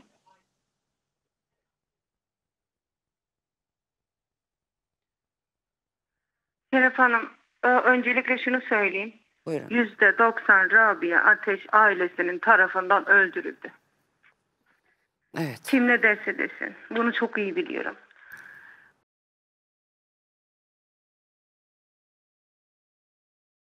İnsanlar ki kesinlikle öldürdüler ve üstünü kapattılar. Namus davası diyerek. Evet. Ee, bildiğim çok şey var ama yaşım küçük olduğu için görmedim. Sadece duyduklarımı anlatabilirim. Lütfen. Ee, kendisi eşiyle hiç anlaşmıyor. O Abdülaziz Bey her şeyi biliyor ama yalan konuşuyor. Çok yalan konuşuyor. Daha önce kadını vurarak ve onun yüzünü morartarak polisler geldiğinde eve kasar içti, su içti. Kadını kovuyor defalarca. Ve bu kadın ailesine sığındığı zaman ona şöyle diyor yani ablalarına mesela şu, o komşulara anneye diyor ki ne bana sahip çıkın çocuklarımı istiyorum sizden başka hiçbir şey istemiyorum. Ama burada örf ve adetler ona bakmıyordu. 20 sene önce o kadar berbattı ki hayat. Kimse onu takmıyor. Ayrılıyorlar çocuklarından. Araya ne kadar zaman geçiyor bilmiyorum. Sadece duyduklarımı şu an söyleyebiliyorum. Onu başka aklı dengesi olmayan bir adama veriyorlar. Orada da oturmuyor tabii. Kadın sürekli kaçıyor evden. Antep'e halasına falan sığınıyor. Bir iş falan kurmaya çalışıyor. Gizlice çocuklarını bulmaya çalışıyor. Okula falan oraya buraya gidip onlara ulaşmaya çalışıyor. Bir ayrıca orada da yapamıyorlar. Dedikodu çıkıyor. Hani kadını işte şurada gördük, burada gördük. Aile söyleyince aile de öyle berbat ki bu tür lafları kaldıramazlar. Bir gün halasının demeyecek seviyeye kadar geldi o kadın. Dayıdan bahsediyorsun. Evet. Sonra nasıl oluyorsa bilmiyorum. Sabahın köründe komşusu Meyrem Yıldırım herhalde. İs- Soy ismini pek hatırlamıyorum ama küçük e, kardeşi var. Ali ay yok. Mehmet Mehmet Bey'le aralarında bekarlığından beri bir ilişki oluyor bu kadına. Kadın hala şu an bekar.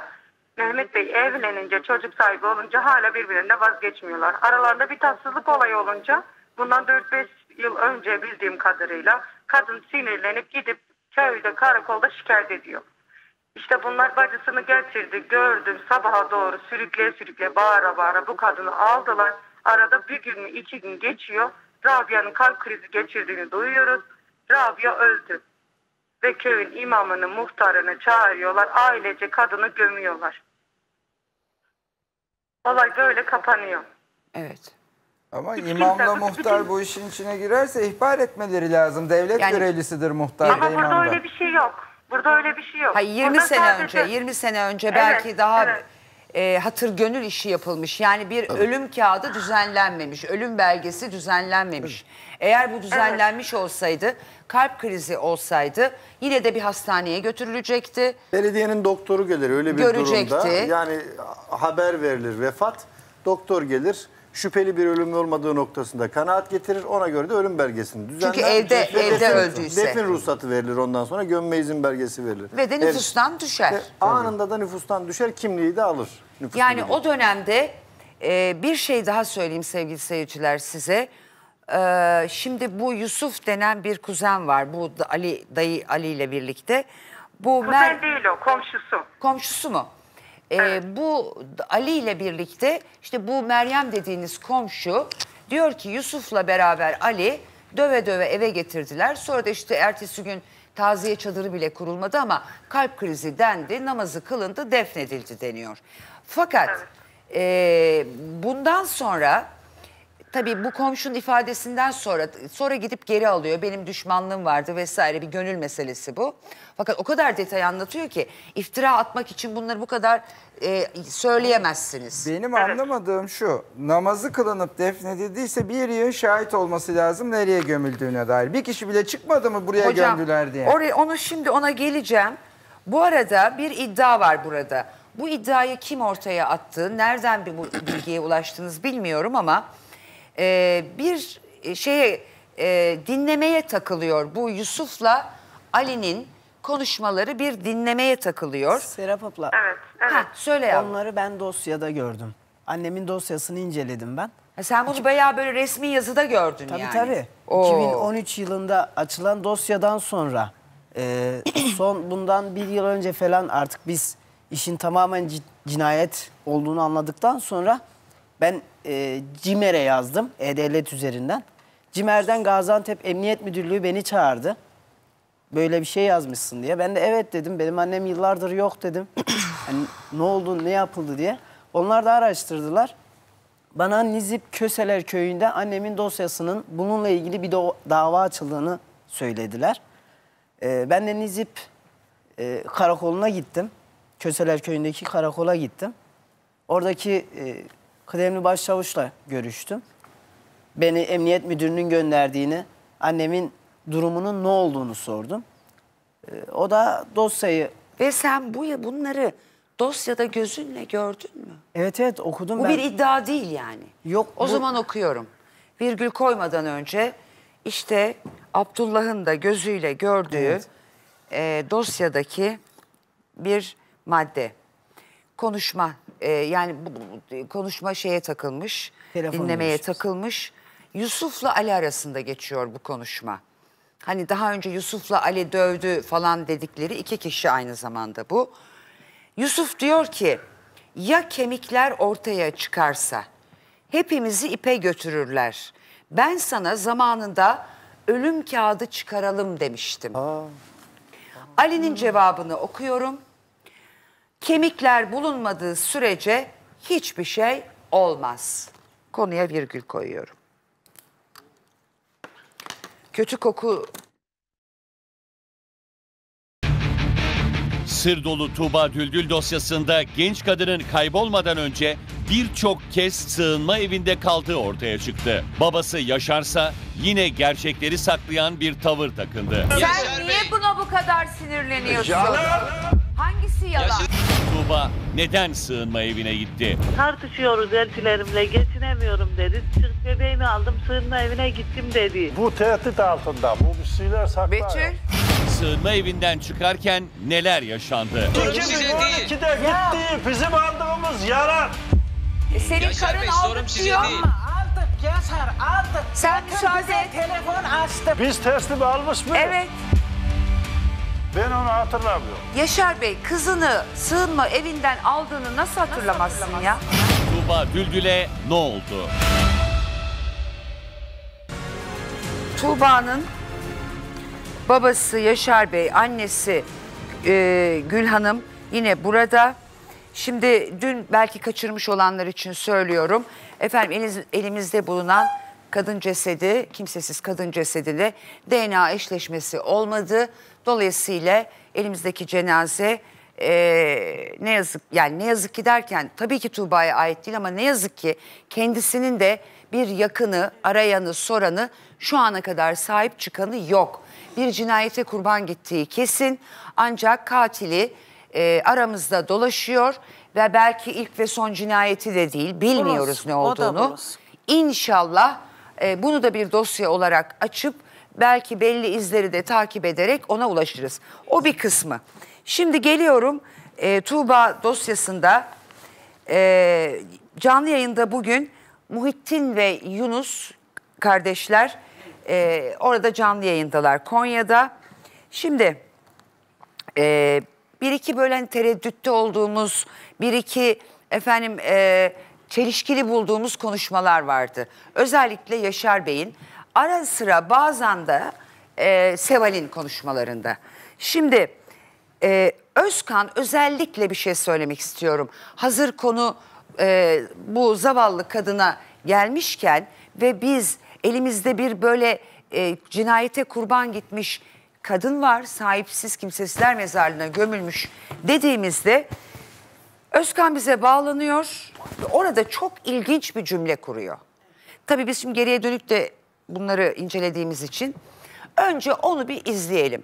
Biz bir ceset bulundu. Acaba Tuğba mı değil mi? Orada bulundu. Ilgın'da sen yaşamıştın. Özkan acaba bilir misin? E, Derken Özkan bir bomba patlatmış aslında. Bir dinleyelim. Şimdi şunu size söylüyorum. Eğer Ilgın civarında hani bir kesik baş bir cinayet şeyi göründü ya. Evet. Benim her türlü devlete karşı boynum kıldan incedir.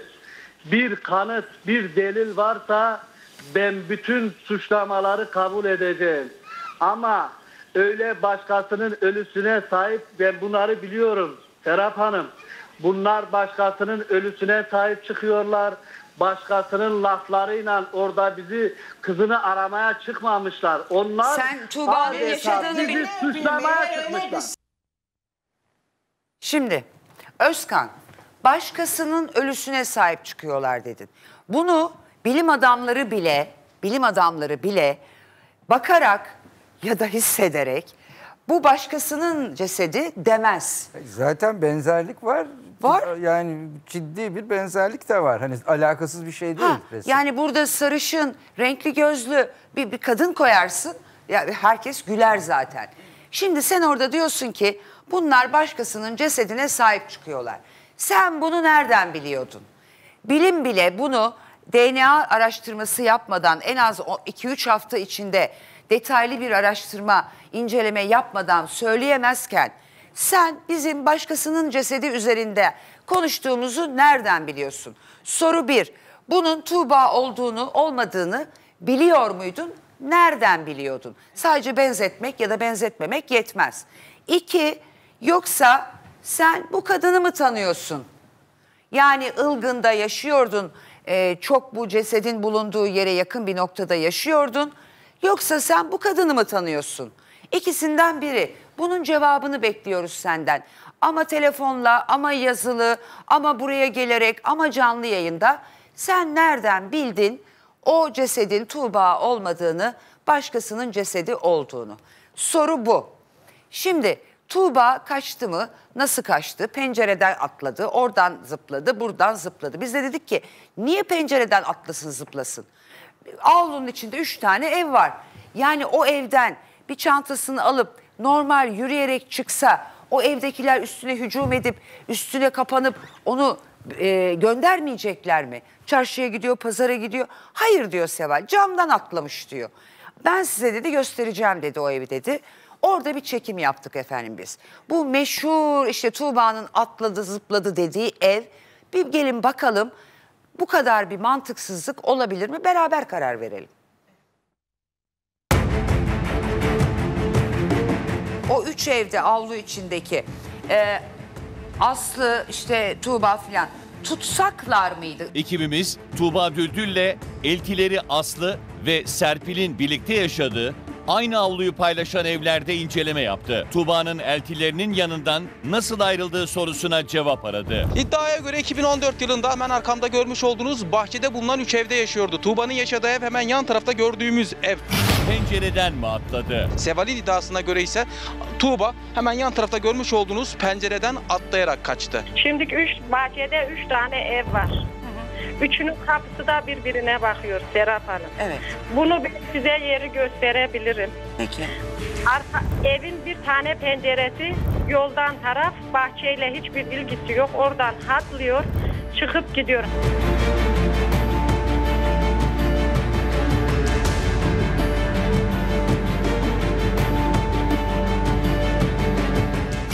Kapıdan mı çıktı? Aslı'nın iddiasına göre Tuğba çocuğunu Aslı'ya bırakarak bu evden ayrıldı. Tuba benimle kalıyordu Konya telafide. Çıktı gitti bir daha da Tuba'dan haber alamadım.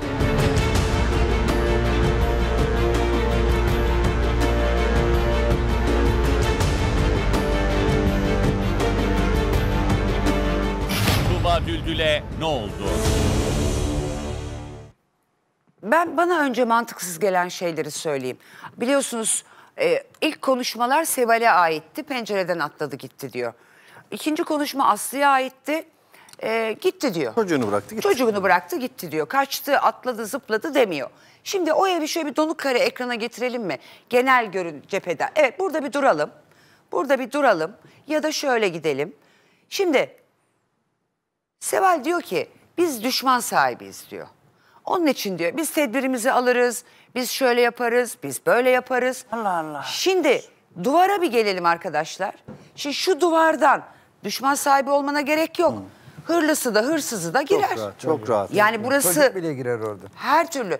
Ve o, du- o dönemde Aslı, Tuğba, Serpil ve Perihan'la Durmuş da mı orada yaşıyor? Evet, evet. Şimdi Evet, bir dakika Serap Hanım söyle. bir şey soracağım. Şu ev şunlara buna mı ait bu ev? Bir Yok. dakika Yaşar bir soru soracağım ya. Sor evet arka cephesi. Evet şu ev şu üstü çatılı çıkıntılı gibi Hayır yer. orası onlara ait değil. Ha, Burası onlara tamam, ait. Tamam o zaman. Şimdi biraz daha böyle gittiğimizde duvarı görüyorsunuz. Bu demir kapı da zaten ne olacak şöyle elinizi atıyorsunuz. Hemen oradan açılır, Her açılır. türlü açıyorsunuz. Zaten içinde yaşanırken şu anda yaşanmıyor belli ki. Şu pencereden evet şu pencereden atladığını söylüyorlar. Hayır. Niye çıkamaz bu pencereden oradan çıkamaz atlasın? abla. Bayağı çıkar da niye atlasın canım? Niye atlasın niye dediğin gibi. Çıkar. Niye atlasın? Üç tane ev aynı avlu içinde giriş kapıları birbirine bakıyor. Ama burası düşmandan korunmak için biz düşmanlıyız, bize saldıracaklardı, şöyle olacak bir ev değil. Buradan her çocuk bile atlar yani. Ben cezaevi duvarı gibi bir duvar bekliyordum. Yani- Cimle yani Tabii. bahçe duvarlarını Korumalar, öyle bekliyordum onlar yani. bunlar filan. Üzerine çitler, teller. Tekrar şöyle sola doğru kaydıralım arkadaşlar. Yani buradan atladığı iddia ediliyor. Ve buradan atladığını da hem gece atladı diyor. Bu ev başkasının mı abla? Orası başkasının ve şu anda da inşaat halinde. Ha. O zaman muhtemelen orada ev bile yok belki. Tamam. Tamam Diyor abla. ki Seval gece atlamış diyor. Gece atlıyor o zaman buralar zifiri karanlıktır herhalde. Evet. köy değil mi burası? Yayla gibi bir yer Yayla. ablam buralar. İyice seyrek karanlık. seyrek evler Yani seyrek seyrek. Atlamak için ne yapmanız lazım? Kimsenin olmadığı, kimseye görünmeyeceğiniz bir saati seçmiş olmanız lazım. Gece iki mi, üç mü her neyse. O saatte de sizi kimsenin görme ihtimali yok. Ama bir komşu görüyor. O komşunun kim olduğunu hala bilmiyoruz. Söylenmedi bize. Ayşe mi, Fatma mı kim olduğunu bilmiyoruz. Komşu görüyor. O tanıklık ediyor. Evet Tuğba oradan atlayarak gitti. Bir de not bıraktı. Aslı ne diyor bize? Not falan bilmiyorum ben görmedim. Çocuğunu bana emanet etti. Hatta bayağı bir cümle kuruluyor. Niye gidiyorsun? Gidiyorum. Çocuğu niye bırakıyorsun? İşte bırakıyorum çünkü onların kanı. Yani bu evden Tuğba'nın atlayıp gitmiş olma ihtimali neredeyse sıfır. Şimdi şurayı bir çevireyim çünkü çok önemli bir konuya geliyorum. Hemen Muhittin'e ve Yusuf'a dönüyorum. Dün bayağı bir üzerinde konuşuldu. Tuğba 2012 yılında sığınma evine gitmiş. Evet. Yaşar Bey ne kadar kabul etmese de gidip aldık demese de Gül Hanım gidip aldık diyor. Aklına vardırdım akşam abla ben. Aklına geldi. Öyle aklına zorla Aklına sokamazsın. vardırdım olur mu öyle şey? Bu arada bir şey daha söylüyorum. 2013 yılında da Tuğba sığınma evine gidiyor. Ve 2014 yılında bu hastane sonrası da Yaşar Bey Seval'i, Seval Yaşar Bey'i suçlarken aslında sığınma evine gidiyor. Asıl önemli olan sığınma evinden sonra ne olduğu. Şimdi Muhittin'e ve Yunus'a dönüyorum. Muhittin bize artık her şeyi anlatma vaktin geldi. Evet. Sığınma evlerinden Şimdi- başlayalım. Şimdi neyi anlatayım bana soru sorun da ona cevap vereyim. Şimdi 2012 yılında Tuğba kadın sığınma evine gidiyor ve babanla annen gidip çıkarıyor. Baban hayır diyor. 2013'te bir daha gidiyor, 2014'te bir daha gidiyor. Sen Şimdi 2000 2013 ile 2014'ü ben hatırlamıyorum. Yalnız 2012 yılında Tuğba kesinlikle hatırladığım kadarıyla sığınma evine girmedi. Babam doğru. Nereden biliyorsun diye tahmin ederseniz Tuğba o zamanlar hamilelik dönemini geçiriyordu. Kesinlikle bizim evde de öyle bir e, tartışma ve şey olmadı. Tuğba gitmedi yani hatırladığım kadar. Gül Hanım sen hiç sığınma evine gittin mi? Ben gittim ablam. Ne zaman? Ha bir şey daha söyleyeceğim. Söyle. Dün e, annem yemin ederek söylüyor işte otopark konusunu açtı hatırlatmak için. Otopark konusunu bizim evde geldiler komiklik olsun diye anlattılar. Otopark konusu sığınma eviyle bir alakası yok. Tuğba rahatsızlandı. Babam annem eee Tuğba. Üçü hastaneye gittiler. Ha, hastanede hastane görmüşler. Otoparkta işte babam eee, biraz otopark ile tartışmış. Bir iki laf söz konuşmuş. Yaşar Bey hatırlıyor mu otopark işini? Sen otopark işini hatırlıyorsun Ha, biz, da bizim bu kadar geldiler olan anlattılar. Biz bu konuya Sırayla, gülüştük sor, yani. Bir komiklik oldu bizim evde. Ama Sığınma sığ- evinden gelmiyorlardı o zaman. Muhittin sığınma evine. Babam gittiğiniz doğru. resmi belgelerde yazıyor. Biz bunu kendi kafamızdan Tarih söylemiyoruz. olarak söyleyelim. Yazıyor. Bak, tarih olarak söyleyelim. Çocuk doğduktan sonra 2012'nin 11. ayın sonunda doğdu çocuk. Bir. Kimliğini çıkardık. Betül de o zaman bizdeydi. Daha evlenmediydi. Ha. Kimliğini çıkardık. Yine evimizdeyiz. Seval'le Özkan'ın hanımı, Özkan cezaevindeydi o zaman. Taksiyle geldiler. Çocuk bir hafta 10 günlük ya. Durmuş, durmuş dedesi görecek diye akşam ezanından sonra bindirdik gönderdik. Ha. Bebeğin valizi de gitti, Tuğba'nın valizi de gitti. Ha bizde durmuş, ha orada durmuş. Ha, bir hafta 10 gün içinde onlar orada yine dövmüşler Tuğba'yı. Akşam bununla biz iyice tartıştık. Dövmüşler. Yalnız sığınma evi dedikleri yer 500 evleri gibi de oraya gitmedik. Macir Pazarı'nın dibinde şubesi var. Arabayla servis İl götürüp getiriyor. var. İl müdürlüğü. Evet. İl müdürlüğünde Tuğba Yayak kendisi geldi bize. Buluşma gibi oldu yani. Tamam sonuçta Benim- sığınma evinden aldınız Ha, ama evet. onların yanından kaçmıştı 2012'de de sığınma evine. elbiseleri de orada kalmış. 2013 oluyor o zaman. 2012'nin son ayı. 12. ay. Aralık ayı, Ya 2012 çocuğun Aralık gırkı ayı. çıkmadı. Hoca, Yaşar Bey diyorsun ki 11 aylık olana kadar bizde kaldı diyorsun. Daha ilk başladı çocuk yeni doğdu. E, Ekim'de doğdu. 3 ay sonra sığınma evine mi gitti o zaman? Bir dakika ya. 2013 olması lazım. Kasım sonu doğdu. Tamam. 12, 2012 Kasım sonu doğdu. Daha 13 girmedi. İşte sonra gitmiş olması lazım. Bir dakika bak yanıltmayın. Arada bir iyi gitmiş o biliyorum. zaman. Kayıtlarda Yani bir Doğurduktan sonra çocuk çok küçükken bir kere daha onları Bir aldılar ama dövdüler gene kaçtı diyor. Dedesi görecek diye Seval'den Özkan'ın hanımı geldi taksiyle. Seval araba kullanır, her türlü araba kullanır. Verdik götürdüler. Orada kaynanası dövmüş, sığınma evine girmiş. Bizim haberimiz yok. Ya yine Seval telefon açtı. Tuğba size gelecek yarın çarşıya gelin dediler. Biz Macir Pazar semtinde ev ihtiyacı alırken il müdürlüğünden çıkarmışlar bize ha, koydular. Hayır bak yine buradan Ha, itiraz. Ben bir Gül Hanım'la konuşacağım. Bir saniye. Gül Hanım sen Bebeğin hangi ay kalmış. Sen hangi yıl- elbise aldık sen hatta. hangi yıl sığınma evine gittin söyle. Ben Betül kızım gitti, Bunun gittiği kaçtı. tarihi ben biliyorum. Alt, Bir Sana sormuyorum. Betül kızım kaçtı. Ha. Oho. Karakolluk olduk. Ben kızımı yalnız bırakmamak için ben yanına gittim. Herkesin de haberi Sen var. ve Betül. 16 Kasım. Betül'le ben Sen ve. Betül 2012, ikiniz 16 Kasım. Gittim. Bunun gittiği Hangi tarih. yıl? 2012 16 Kasım. Okuma yazması yok. Okumam yok Tarihleri benim bilmez abla. ya. Ben E, yardımcı tamam, oluyorum. Tamam Yalan 2012 Kasım ayında. Ha. Evet, Bu arada gittim. Tuğba nerede? Araştırma yanımızda yap doğrusu değildi. çıkar. Onlardaydı. Tuba onlardaydı. Ya- Ama hani Yanımızdaydı. hamileyken yanınızdaydı. Bir dakika dur Baba diyeceğim. da yanımızdaydı. Bebek doğmadıydı. Ha, dur dur dur tövbe. Bebek doğmadan. Sen devam et. Bebek doğmadan. Hayır Tuba Müdahale yanımızdaydı. etme abim. Yaşar Bey. Evet. Tuğba yanımızdaydı. Oradan bir evimizde abisi gel o olmayacak vermeyeceğiz dediler. Bir tartışma çıktı. Tartışma çıkmanın sebebinin oradan karakolluk olduk biz kendi aramızda. Allah için konuşacaksak. Karakolluk olduktan sonra ben sığınma evine kızımı yalnız bırakmam diye ayağımı direttim karakolun içinde. Tamam abla seni de gönderelim dediler. Gittim ben çocuğumun yanında. Orada 10 gün kaldım kalmadım. Kalmadım. Ondan sonra bu ısrarla ben hanımımdan bir kötülük görmedim. Ben hanımımı istedim. O bizi korumaya aldılar. Şey yaşanmış böyle Yaşar Bey dövdü mü seni? Hayır dövmedi. Hayır, bir şey söyleyeceğim. Bak Allah'tan- Gül, Gül Hanım, Gül. Hanım bak bak. Bot dinle tartışma. Yaşar Bey, şey Gül Hanım Hanım. Sen Allah için söylüyorsun da çok geç söylüyorsun. Haber Evet, Allah tamam. için söylüyorsun. Tamam. Doğru da söylüyorsun ama çok Tamam. çok geç söylüyorsun. Geç söylüyorum. Şimdi sığınma evlerine sadece mağdur olan kişileri alırlar. Şiddet mağduru, Evet, hayati tehlike tamam, içerisinde huzurumuz olan, dışarıdan Bu maddi Betül'ün anlamda yüzünden- sıkıntısı olan. Bir dakika.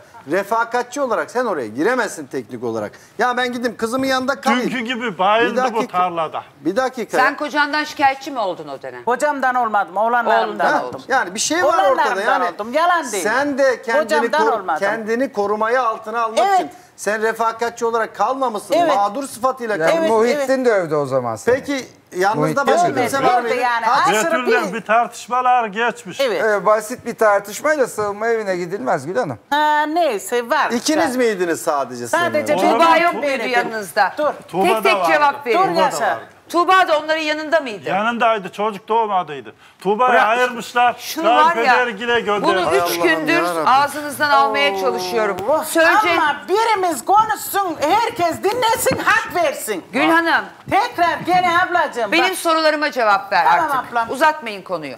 Sen, Betül Evet. ve Tuğba Evet. aynı anda sığınma evindeydiniz. Hayır sığınmada Tuğba girmedi. O kaynatası Vardı bile- diyor. Vardı bizim yanımızdaydı ama o kaynatası bile karakolluk olduktan Ya sonra... sığınma evinde miydi çocuk. değil miydi? Sığınma evinde değildi. Babasının yanında kalmış. Hayır birliktelerdi diyor. Hayır değil ya. Ya- Betül'ün ben vardım ya. Niye böyle yapıyorsun sen? Betül'ün ben gittim. Tuğba Doğru. girmedi Senin ya. sözün doğru. ya. Bir saniye, bir saniye. Yunus'a Yunus'la konuşalım biraz. Yunus. Yunus. Ver abi ben konuş. Konuş. Ha kim biliyorsa o konuşsun artık. Serap Hanım. Evet. Beni dinler misiniz? Evet. Bak 2012 siz ile 2014'de dipdiri diyor. canca Siz bilmiyorsunuz, çok capcanlı önemli olduğunu ortada olan. Betül'ün konusunu konuşmak istiyorsanız konuşalım. Konu değil. Bizim konumuz Tuğba. Bizim konumuz 2012, 2013, 2014 değil. Bizim konumuz Sen onu bilemezsin. Tuğba'yı bulmak. Ona ona sen karar veremezsin. Ve- Bunları Ha, bu bunları soruyorsak, bunları soruyorsak bir sebebi Bak var. ablam. Sen cevap vermekle yükümlüsün. Sen karar vermeyeceksin. Betül'ü Cevabını sorma. veririz. Sen şunu Cevabını söyle. veririz. Ce- 2012 Sorun sorumuzu e, cevap soruyorum. 2000 veremeyeceğimiz hiçbir konu yok. Allah'ın karşısında da kulların karşısında da her türlü Tamam. cevabını veririm 2012 ben. yılında- Betül'e de cevap veririm. Tuğba'ya da cevap veririm. Herkese cevap veririm. ben. Ver o zaman. 2012 yılında annen Betül ve Tuğba diyelim ki annen 10 gün ama Tuğba 4 gün 5 gün. Aynı anda kadın sığınma evinde bulundular mı bulunmadılar mı? Bunun sormamın sebebini sorgulama cevap ver. Ha 2012 2013 tarihini bilmem ben. Kasım ayını Eylül ayını da bilmem. Beytül'üyle Gül Hanım'ı biz tarlada tartışma yaptık. Ufak tefek kavga yaptık. Evet, evet. Neden yaptık biliyor musun? Beytül babası yaşında insanlar görüşme yapıyordu. Biz de buna karşı geldik. Şu Bu anda konuda tartışma yaptık. Sığınma evine Beytül'le Gül Hanım gitti. Tuğba var mıydı yok muydu? Sığınma evine gitti mi gitmedi mi Yok hatırlamıyorum. gitmedi, o gitmedi ablam. Oradan bak çarşıdan Günü yakını da Tuğba'ya ayırmış polisler. ha, polisler onu ona ayırdılar. O doğru O evine gitti. Ben hatta bilmiş. dedim ki bir dakika. tek tek sen- konuşun tek tek. Ben hatta dedim ki kızım senin suçun yok dedim. Sen doğru baban yanına evimize git dedim. Bize gelemedi. Tamam. Hayır anne O kavga sırasında, dedi. o kavga sırasında Tuğba da mı vardı orada? Vardı. Onun suçu yok hamile diye. Heh, evet. Sen babanın yanına git Evet, dedin. ben bir de öyle dedim. Yunus'tan dinleyelim. Bir de Yunus sen anlat. Yunus sen anlat o olayı. 2012'de ki olayı bir de senden dinleyelim. Bir dakika. Telefonu da duymuyor. Tamam ben sana soruyorum. 2012'deki olayı anlatır mısın? 2012'de kim gitti sığınma evine? Ne yaşandı bu evde? Abi ben 2012-2013'ü bilmem ama bizim konumuz Tuğba. 2012'de, 2013'te, 2014'te gidiyor hastaneye yatana kadar abi. Tuğba dipdiriydi görüşüyorduk. Burada konuşulması gereken Tuğba'nın 2014 hastaneye yattığından sonraki tarihteki yapılması gereken araştırmalar bunlar. Dipdiriydi de niye hala 2015'ten Sen karışma. Yunus onu sen oraya gidince sen oraya gidince bir dilin uzamış senin ama sen siz karar vermeyeceksiniz ne soracağımıza. Anladın mı? Bu dosya bir saniye. biz karar vereceğiz. Bu dosya cevap bizim sayemizde, bizim sayemizde. Sakin bu, ol oğlum, dinle bir dakika ya çok yoruyorsunuz beni ya. Yunus bu dosya bizim sayemizde bunu söylemekten de hiç gocunmuyorum. Kayıptan daha 3 ay önce başvurdunuz kayıp diye kayıptan cinayet büroya geçti. Evet. Eğer biz bu soruları soruyorsak bir sebebi var. Bunu size açıklamak zorunda değiliz. Ya cevap verirsiniz ya da Tamam. vermezsiniz. Bize işinizi Siz- öğretmeye bakın. kalkma. Oraya gidince bir efelik gelmiş sana ama konu öyle çözülmüyor işte. Konu Tuğba. Konu Tuğba. O kız üç Tamam. kere girdi oraya. Oradan çıktı nereye gitti? 2014 yılında gene gitti. Siz dediniz ki Seval aldı. Bize o kadar net söylediniz ki bunları. Seval dedi ki onlar aldı. Evet, Sonra baban evet. dedi ki ben kayıp başvurusu bile yapmadım. Çünkü almadılar. Ve dedi kendi de gitmiş olabilir dedi. Bu kadar çelişkinin içinde sen bir de bize kalkıp konu Tuğba diyemezsin. Anladın mı? Söz ne var. soruyorsak cevap verin ya da vermeyin konuyu kapatalım. Gerçekten çok enteresan bir olay. Çünkü işin içinde bir erkek, bir kadın, sonra kadın kılığına girmiş bir erkek, sonra bir taksi geri geri geliyor. Pınar Hanım ona taksiye biniyor. Sonra taksi şoförüyle konuşulduğunda bunlar iki kadındı. Bir tanesini şuraya bıraktım, bir tanesini buraya bıraktım. Eve gelen kadın e, kocam beni dövüyor, beni eve alın diyerek kapıyı açtırıyor ve oğulları Hasan kapıyı açıyor. Üzerime bir şey giyeyim hani çocuk üstüne bir şey alacak ve dışarı çıkacak belki hani adamın peşinden gidecek ya da engel olmaya çalışacak. Derken kayıp olan bugün üç buçuk ay artık 108 gündür kayıp olan Pınar Hanım'ın boğazına yapışıyor kadın ve kocam nerede diyor. O arada Pınar Hanım da hafif bir baygınlık gibi geçiriyor. Zaten panik hata varmış. Sonrasına tekrar güvenlik kamerasından bakalım. Ee, Pınar Hanım'ın eşi Metin Bey burada. Kızı Cansu annesini arıyor. Oğlu Hasan ve gelini Serpil de muhabirimiz Kubilay'ın yanında canlı yayında olacaklar. Bu arada da taksi şoförünü de bağlanmaya ikna etmeye çalışıyoruz. Çünkü bir iddiaya göre taksi şoförü bu adamı eve giren adamı tanıyor diye taksi şoförünün babasının bir e, söylemi bu. Benim oğlumun arkadaşıydı diye. Tekrar edecek olursak kısaca şöyle bir özet geçeyim sevgili seyirciler. Efendim bundan üç buçuk ay önce tarihler 21 Haziran 2020'yi gösterirken Metin Bey kahvehanesi var. Kahvehanesini e, açmak için saat 8'i 9 geçe evden çıkıyor. Her gün aynı saatte mi gidersiniz? Hayır o gün pazar diye gece sayayım diye biraz geç çıktım evden. Geç çıktınız. Normalde 7'de falan çıkıyorum evden. Öyle mi? Evet. O gün günlerden pazar. Pazar, evet. Ama muhtemelen sizin çıkışınızı bekleyen birisi var orada.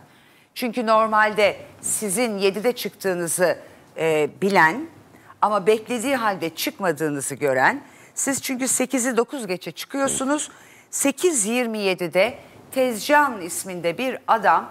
Şimdi burada önce biz e, beyefendiyi görüyoruz, babayı görüyoruz. Metin Bey evden çıkıyor. Her pazar öyle açıyorum yani. Her pazar Her o saatte bu saatte. açıyorsunuz.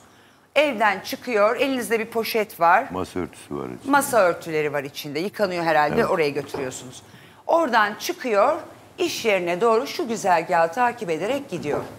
Şimdi aradan 27-18 dakika geçtikten sonra bakın bu Metin Bey'di. Bir tane gölge görüyorsunuz. Şu şahıs Metin Bey'in çıktığı apartmana giriyor. Orası iki katlı bir apartman. Apartmanın bir ana giriş kapısı var. O ana giriş kapısı çekerseniz kilitleniyor mu? Hayır çektiğinden biraz e, sığışıyor yani zor açılır yani. Onun için aralık mı E, bırakıyor? Aralık bırakıyorum Üst yani. komşu da mı aralık bırakıyor? O da bırakıyor yani Tamam. akşamları kilitliyoruz. Siz de aralık bıraktınız derken tam 18 dakika sonra bir erkek silüeti o apartmana giriyor efendim. Kapıda açık hazır. Onu da biliyor belki de muhtemelen. Giriyor ve bir dakika sonra bu beyefendi girdi. Tam bir dakika sonra bir kadın girecek şimdi bu e, apartmana. İşte geliyor kadın. İşte bu kadın bu sefer üçüncü kişi, ikinci kişi olarak apartmana giriyor. Bu arada sizin giriş kat. Kapıyı yumrukluyor. Cansu sen evdesin. Evet. Bayağı böyle canhıraş mı Evet, vurdu? evet. Siz abinle sen uyuyor muydunuz? Ayaktaydık. Uyanmıştınız. Uyanmıştık. Bu 8.28. Abin evli. Aynı evde mi yaşıyorsunuz? Aynen. Peki karısı Serpil de mi evdeydi? Evet. Siz hepiniz ayaktasınız. Annen de ayakta. Annem kendi odasındaydı. Uyuyor muydu? Uyumaya geçmişti. Babamı yolcu edip uyumaya geçiyordu. Hı. Pazar günü bir de Evet. uyuyor. Siz gençler ayaktasınız. Evet. Kadın kapıyı canhıraş bir şekilde çalıyor. Ee, abisi Hasan açıyor kapıyı. Sen kadının abine ne dediğini tam duydun mu? Hayır kapıyı abim açtı ben evin içindeydim. Duymadım. Evet şimdi Hasan bize anlatacak zaten. Sonra işte kocam beni dövüyor filan deyip oraya girip Pınar Hanım'ı görüyor. Onun odasına yöneliyor mu? Pınar Hanım da mı çıkıyor odadan? Abi, annem de çıkıyor odadan. Annemin kolundan tutup odaya çekiyor. Tekrar yatak Evet. odasına çekiyor. Evet. Boğazına sarılıyor. Evet. Kocam nerede diyor. Evet. Annen de kocan kim ben tanımıyorum Evet. diyor. Ve saat bu- bunların hepsi iki dakika içinde oluyor. Saat 8.30'da Leyla'yı Hasan tabii annesine bu muamele yapıldığını görünce dışarı atıyor. Evet. İşte kadın koşarak gidiyor bakın. Geldi, girdi, Hasan'la konuştu, anneyi kocam nerede dedi. İki dakika sonra da buradan koşarak kadın çıktı evden. Bakın Hasan'ı da görüyorsunuz şurada. Hasan da zaten ittirip kaktırdı onu. Hani sen kimsin der gibi. Kadın koşarak gitti. Olay burada bitmiyor. Kocasının yanında. 8.30, 9.23. Ee, 50, e, el- 53 e, dakika sonra, 52-53 dakika sonra e, bu ilk giren adam var ya Metin Bey çıktıktan sonra Tezcan. Bu apartmandan etekli, başörtülü birisi çıkıyor. Ee, bakın, fakat etekli ve başörtülü olmasına rağmen bunun bir erkek olduğu anlaşılabiliyor. Çok net yürüyüşünden Çok özellikle. net fiziğinden, kalıbından bu bir erkek. Bakın ama kadın kılığına girmiş o apartmandan çıkıyor. Sonra e, aradan 23 geçeydi 14, 7 daha 21 dakika sonra yani 10-14'te 21 dakika sonra anneniz Pınar Hanım çöp dökmek için elinde poşetle çıkışta sol tarafa doğru yürüyor. Bakın o poşete dikkat edin. Ama bu Aslında- arada arkasına bakıyor. Taksi Arkasına bir şey bakıyor. bekler gibi. Bakın poşete dikkat edin. O bir çöp değil. Çünkü birazdan döndüğünü göreceğiz. O poşet halen elinde. Doğru mu? Çöp dökülmemiş. Çöp bahane olarak belki sunuldu. Geldi, kapısına geldi. Çünkü aradığı bir şey bulamadı. Beklediği bir şey var ama onu göremedi, bulamadı. Evin kapısında biraz oyalandı dikkat çekmemek için. Oyalandı, orada köşede bekledi bakın. Kapıyı açmaya falan Hı hı. teşebbüs etmedi. Tam olarak şurada, şurada bir böyle niş gibi bir şey var. Orada bekledi ve bir taksi gördü taksiyi. Taksi geri geri geldi. Pınar Hanım bindi ve gitti. Gidiş o gidiş. Şimdi haritayı getirelim ekrana. Daha sonrasında tabii dendi ki taksi şoförü bulundu vesaire. Dedi ki beni iki tane, orayı da siz anlatın Metin Bey. İki tane kadın aradı beni Evet dedi. iki kadın aynı numaradan aradı dedi. Birini dedi Yeşil Vadi diye oraya bıraktım. Bir dedi gerisin. Peki Şimdi dedim. orayı görelim. Şimdi sizin eviniz şurada. Doğru mudur? Evet. Cumhuriyet Caddesi'nde Kurultay e, Pınar'ın taksiye bindiği yer aynı zamanda. Hemen de evin önünden bindi. Pınar'ın taksiden indiği yer tam olarak şu nokta evinize çok yakın. Burası bir park mı? Burası bir durak mı? Durak da var. Bankanın yan tarafı yani bu. Bir bankanın yan tarafı ama ne Peynir. var orada? Restoran mı var? Değil orada peynirciler var, ezeneler falan var. Ee, tavukçu var ne bileyim Çarşı var yani. ortamı. Azilerde, Çarşı. Çarşı Ha, ortamı gibi Azilerde bir bir yer. park var Çağ Bahçesi. Yani buradan buraya kaç dakikada gider? Kaç kilometredir? Yayan e, giderse yayan 15 dakikalık. O yani bir ki- kilometre falan, bir, bir buçuk Yani taksi kilo- tutmaya değmeyecek, Değmeyecek yer. bir yer. Aslında yürüyerek gidebileceği bir yer. Yürüyerek giderse benim tarafımdan geçiyor. Yani belki ben görerim. Veya o kadın gittiği mevki. Aa, bir dakika. Buradan taksiye binip Evet. e, e, yürüme, yürüyerek gitse buradan buraya gelmesi için kahvehanenin önünden mi geçmesi? Evet kahvehanenin önünden geçiyor. Bir de kadının gittiği mevki. Tamam. Kadın Şimdi orada demiş ben kocanın yanına gidip şikayet etmeye gidiyorum. Kocana söylemeye. Görürsünüz bu falan. e, Leyla. Evet kız falan duymuş evde yani. Peki sizin kahvehanenin önünden geçecekti. Ta- Onun için taksiye bindi. Ee, kadın kılığına girip taksiye binen kişi de şuralarda indi. Ee, burası aslında bayağı bir mesafe. Burada ne var Metin Bey? Orada Yeşil Vadi piknik yanaklığı gibi bir yer yani. Piknik alanı Evet. gibi bir yer. Tamamen ters istikametlerde götürdü bıraktı ikisini de. Ama doğru söylüyorsa tabii. Tabii ki. Peki efendim Metin Bey. Dediniz ki bu adamın üzerindeki kıyafetler bir yerde bulundu. Nerede bulundu? Yok bunun Üzerindekileri çıkarmış ya kadın. onu tahsilci bize söyledi yani. Yeşil Vadi'de çıkardı üstünü değişti. Ben bulmadım yani. Görmedim. Ha, taksici onun kıyafeti değişince erkek olduğunu mu anlamış? Evet. Konuşmasından falan anlamamış yani. Onun dediğine göre anlaşılmaz. Hani beyefendi şuraya gidiyoruz dediğinde falan anlamamış. Anlamadım. Kıyafetini çıkardığında anlamış. Peki biz efendim bir de dedik ki canlı canlı görelim. Bindiği yer, indiği yer, e, taksicinin iddia ettiği yer, bıraktığı yer. Orada bir vetere çektik. Şimdi gelin Pınar Güler'in nasıl kaybolduğuna bir bakalım. İki çocuk annesi Pınar Güler'in kaybını araştıran ekiplerimiz Manisa Turgutlu'ya gitti. Filmleri aratmayan olayda kaçakların kullandığı rotayı takip etti. Pınar Güler'in kaybolduğu gün eşi evden ayrılır ayrılmaz bir adam eve geldi. Kargaşa yaratıp eve girdi. Adamdan kısa süre sonra bir kadın geldi ve hışımla bu kapıyı çalarak kocam nerede diye sordu. İçeriye giren kadın kocam beni dövüyor yardım edin dedi. Ancak içeriye girdiğinde Pınar Güler'e saldırdı. Pınar Güler'in oğlu Hasan Güler ise kadını yaka paça dışarıya attı. Aynı taksiyle kaçtılar. Ardından kameralara ilginç bir görüntü yansıdı. Etek giyip başına eşarp takan bir adam evden çıkarak kapının önünde bekleyen taksiye bindi. Pınar çöp atmaya gidiyorum diyerek evden çıktı. Ancak kapının önüne gelen adamın bindiği taksiye binerek o da evden uzaklaştı. İşte yaşanan her şey evin karşısındaki işte bu güvenlik kamerasına yansıdı. Taksiden ayrı yerlerde indiler. Pınar Güler Turgutlu Çarşı Merkezi'ne taksiyle geldi ve taksi şoförünün iddiasına göre fayton pazarı denilen yerde indi. Pınar Güler'in ardından kadın kılığındaki adamsa Yeşil Vadi denilen mesire alanına geldi ve taksiden indi. Taksi şoförünün iddiasına göre hemen iner inmez eteğini ve eşarbını çıkarıp attı ve gözlerden kayboldu. Pınar Güler nerede? Arkadaşlar çok kısa bir süre için şu e, haritayı tekrar bir getirebilir miyiz? Evet. Şunu soracağım size. Bu e, Tezcan'ın ete- etekli ve eşarplı evden çıkışıp o taksiye biniş gidişi, taksinin tekrar dönüşü ve eşinizin o taksiye binişi arasında 52 dakikalık bir süre var. Burası o kadar sürer mi gidiş dönüş? Hayır.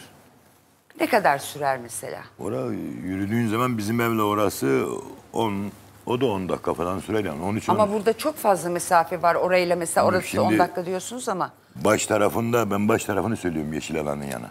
Hayır ben şunu Başlangıç söylüyorum. alanı. Tezcan kadın kıyafetiyle burada taksiye bindi ya gördük görüntülerde. Gidiyor taksi Evet. bıraktığını iddia ettiği yer burası. Tekrar dönüyor. Bu arada 52 dakika var.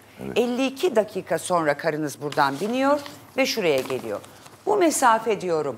Taksici doğruyu söylüyor olabilir mi olmaz mı? 52 dakika gidiş dönüş. 21 dakika 20 dakika sürer mi sürmez mi? Şimdi orada büyük bir alan o yeşil alan. Baş tarafa mı bıraktı ortaya mı öbür ucuna mı bıraktı onu bilemeyeceğim. Çünkü Öbür arada ucuna tam mı? 52 Ha, dakika öbür var. ucuna bırakırsa yani bu yarım saatte de geçer. Yürümek, yürüme şartıyla. Taksiyle diyoruz Taksiyle yani, yürüme 52 değil. dakikada gider ve gelebilir mi geri? 20'şer Yok, dakika. Hayır hayır bir 5 dakika ancak sürer yani taksiyle. Taksiyle. 5 dakika bile zor yani. Yani peki Çok yakın şuradan dolanıp onu oraya bıraktı. Buradan dolandı. Başka bir güzergahtan geldi Pınar'ın yanına bıraktı. Sonra tekrar döndü oraya geldi. O zaman 50 dakikayı bulabilir değil mi? Evet bulur. Şimdi Hasan'a bir bağlanalım. Ee, yanında muhabirimiz var. Ee, Hasan e, biliyorsunuz Pınar Hanım'ın oğlu, Metin Bey'in oğlu tam da bu kadınla, Leyla denen kadınla birebir hani biraz da itip kakarak dışarı attı. Yanında da eşi Serpil var. Hasan şunu e, sormak istiyorum önce. Bunu dün duymamıştım, bugün duydum. Bu kadın giderken babanıza şikayet edeceğim diye mi çıktı evden sen attığında? Evet. Ee, neyi şikayet edeceğini söylemedi mi? Sormadınız mı? Yani sormadık. Sadece hani öyle söylediğini duyduk. Şikayet etmeye gidiyorum kocana diye. Bu kadar. Başka bir şey yok. Ee, bunun üzerine şikayet edilecek. Size herhangi bir şikayete geldi mi? Hayır ben görmedim. Kimse gelmedi. Kimse. Şimdi bu kadın Kimse neyi gelmedi. şikayet edecekti? Şikayet edeceği şey her neyse Pınar Hanım'ı korkutan bir şey olması lazım Evet. bu. Bu arada Pınar Hanım'ı orada taksiye binerken görüyorsunuz. Bu bir zorla kaçırılma olayı değil. Değil. Ama şantaj olabilir mi? Tehdit Her şey, olabilir her mi? şey çıkabilir altından. Olabilir. Her şey Yani çıkabilir. kocana şikayet edeceğim diyerek gitmesi ve sonra da Pınar Hanım'ın işte kan çıkacaktı babanın elinden demesi aslında açıklıyor her şeyi. Ee, Şeyi soracağım. ee, annenizin odasından o avlu gibi yere açılan bir yer var mı? Yani oradan direkt geçiş mümkün mü? Bir tane kapı var. Anlamadım. Yani hayır şimdi anneniz kendi Bahçeye odasından çıkan çıkmış var ya. kadın kapıyı çalınca tekmeleyince. Çünkü şöyle anlaşılıyor. Kadın adamı takip etmiş. Adam giriyor bir dakika sonra kadın geliyor peşinden. Yani o bir şekilde evden çıktıktan sonra adam arkasından takip edip nereye gittiğini görmüş. Ondan sonra gelmiş baskını yapmış. Anlaşılan o görüntülerden. Ha, ama orada bir şekilde birisiyle buluşmaya geldi o. Anneniz kendi odasındaysa onunla buluşma ihtimali daha düşük veya daha sonra çıkacaktı belki. Ama direkt annenizin odasından başka yere siz görmeden çıkabileceği bir yer varsa Hayır yok. yani öyle bir durumda kadın görmüş şüphelenmiş olabilir. Yani Hocam, direkt gözüyle görmüş Bir de olabilir. şu var yani bu evde Metin Bey gitmiş olsa bile iki tane genç kadın bir de oğlu yaşıyor. Çocuklar da var iki tane. Çocuklar ayrıyetten. evde. Evet. Yani böyle bir ihtimal e, acaba adam başka bir eve girmek üzere gelirken karısını gördü. Peki e, çatıya çıkıyor. Orada çatıda komşunun asılmış çamaşırları var. O kıyafetleri de oradan aldığını düşünüyoruz. Ben öyle hissediyorum yani. O çatıya e, apartmanın kapısından giren herkes rahatlıkla çıkabilir mi? Çıkarır. Kilitli falan değil, Değil, değil. yani. Kapısı falan yok Bizim yukarının. koridor kapısından girdiğin zaman direkt şeye E, çıkıyor. bu adam o Herhangi şey apartmanı yok. biliyor. Tabii. Yok Daha bir de gelmiş. saat itibariyle e, hani konuşuluyor meseleler. Yasak bir aşk ilişkisi yaşanacak, yaşanmak için planlanmış bir saat değil bu sabahın 8'i pazar günü. Herkesin Artık evde olduğu bir ortamdan bahsediyoruz. Çok acayip. Teras da bu. Ama şöyle de Yani bir durum bütün var. camlar hani teras açık. Böyle bir bence başka bir şey konuşulmak için mi gelindi eğer gerçekten hanımefendiye gelindiyse. Pınar Hanım'la e, bu kişi arasında belli bir şekilde hani bu yasak aşk olmayabilir ama bir tanışıklık bir ilişki olması lazım yoksa seni kocana şikayet edeceğim deyince niye kaçsın? Evet. Değil mi? Yani bir kaçması için bir anlam yok o zaman. Hani bir, bir korku yarat, yaratıyor. Bir altının dolu olması lazım bu tehdidin. Ee, Hasan, şimdi e, Serpil de evdeydi. E, seni Evet. birazcık dinlemiştik, birazcık da e, Cansu'yu. Serpil sen nasıl anlatırsın bu olayı bize? Ee, biz sabah hani oturuyorduk hep beraber babam işe gittikten sonra. Ee, kapı çok hızlı çalındı. Ee, Hasan kapıyı açtı. Kadın dedi ki kocam beni dövüyor. Hasan dedi ki sen içeri geç. Üstünü giyiyordu. Bizim arka demir kapıyı salladı kadın. Ee, kapıyı açamayınca Hasan içeri girdikten sonra tam ben kapıyı kapatıyordum. Kadın kapıyı tuttu. Hani Hasan'ın arkasından girdi. Ee, annemin elinden tutup odaya götürdü. Dedi ki e, kocamı nereye saklıyorsun? Kocam nerede? Ondan sonra tam anneme el kaldırıyordu. Ee, eşim onu döverek dışarı çıkardı. Peki, Yani olay böyle. Peki yavrum, bu kadın gittikten sonra ne oldu? Anne kim bu kadın? Ya da annenizde, kayınvalidende garip bir davranış, bir, bir herhangi bir şey hissettiniz mi? Ee, annem sadece böyle panik atak oldu. Hani biz anneme sorduk. Anne bu kadın kim? Annem dedi ki ben bu kadını tanımıyorum. Daha önce hiç görmedim. Kocana şikayet ederim cümlesini Hasan sen onu tartaklarken mi söyledi? Ee, hayır. Ee, kadını dışarı attıktan sonra kadın üstünü başını düzeltirken söyledi. Ben seni kocanı şikayet edeceğim dedi.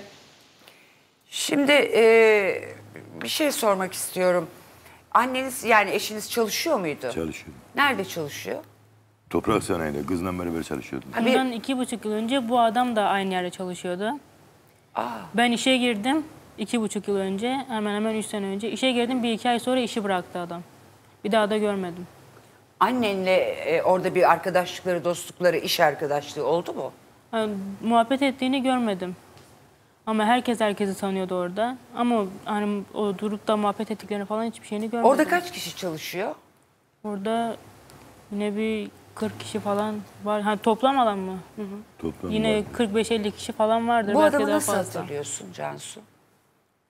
Bu adam hiç hani sadece merhaba merhaba diyorduk. Hani işe girer, Hayır, fabrikaya girer. sadece merhaba dediğin bir insanı şimdi e, orada görünce ya da sonra fotoğrafını mı gördünüz bilmiyorum.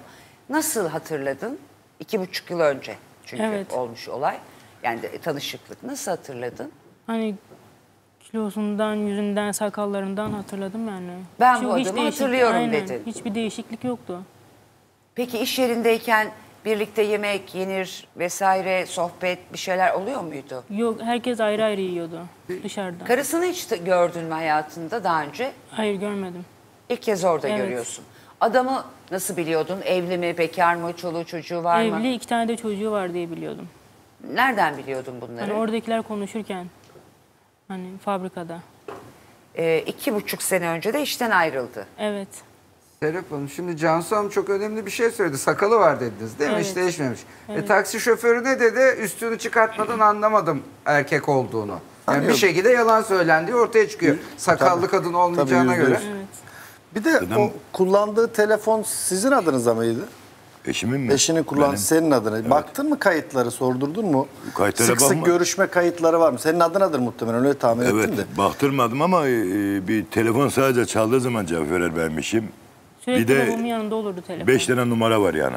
Sadece başka benim bir şey olmaz. Başka bir şey yok.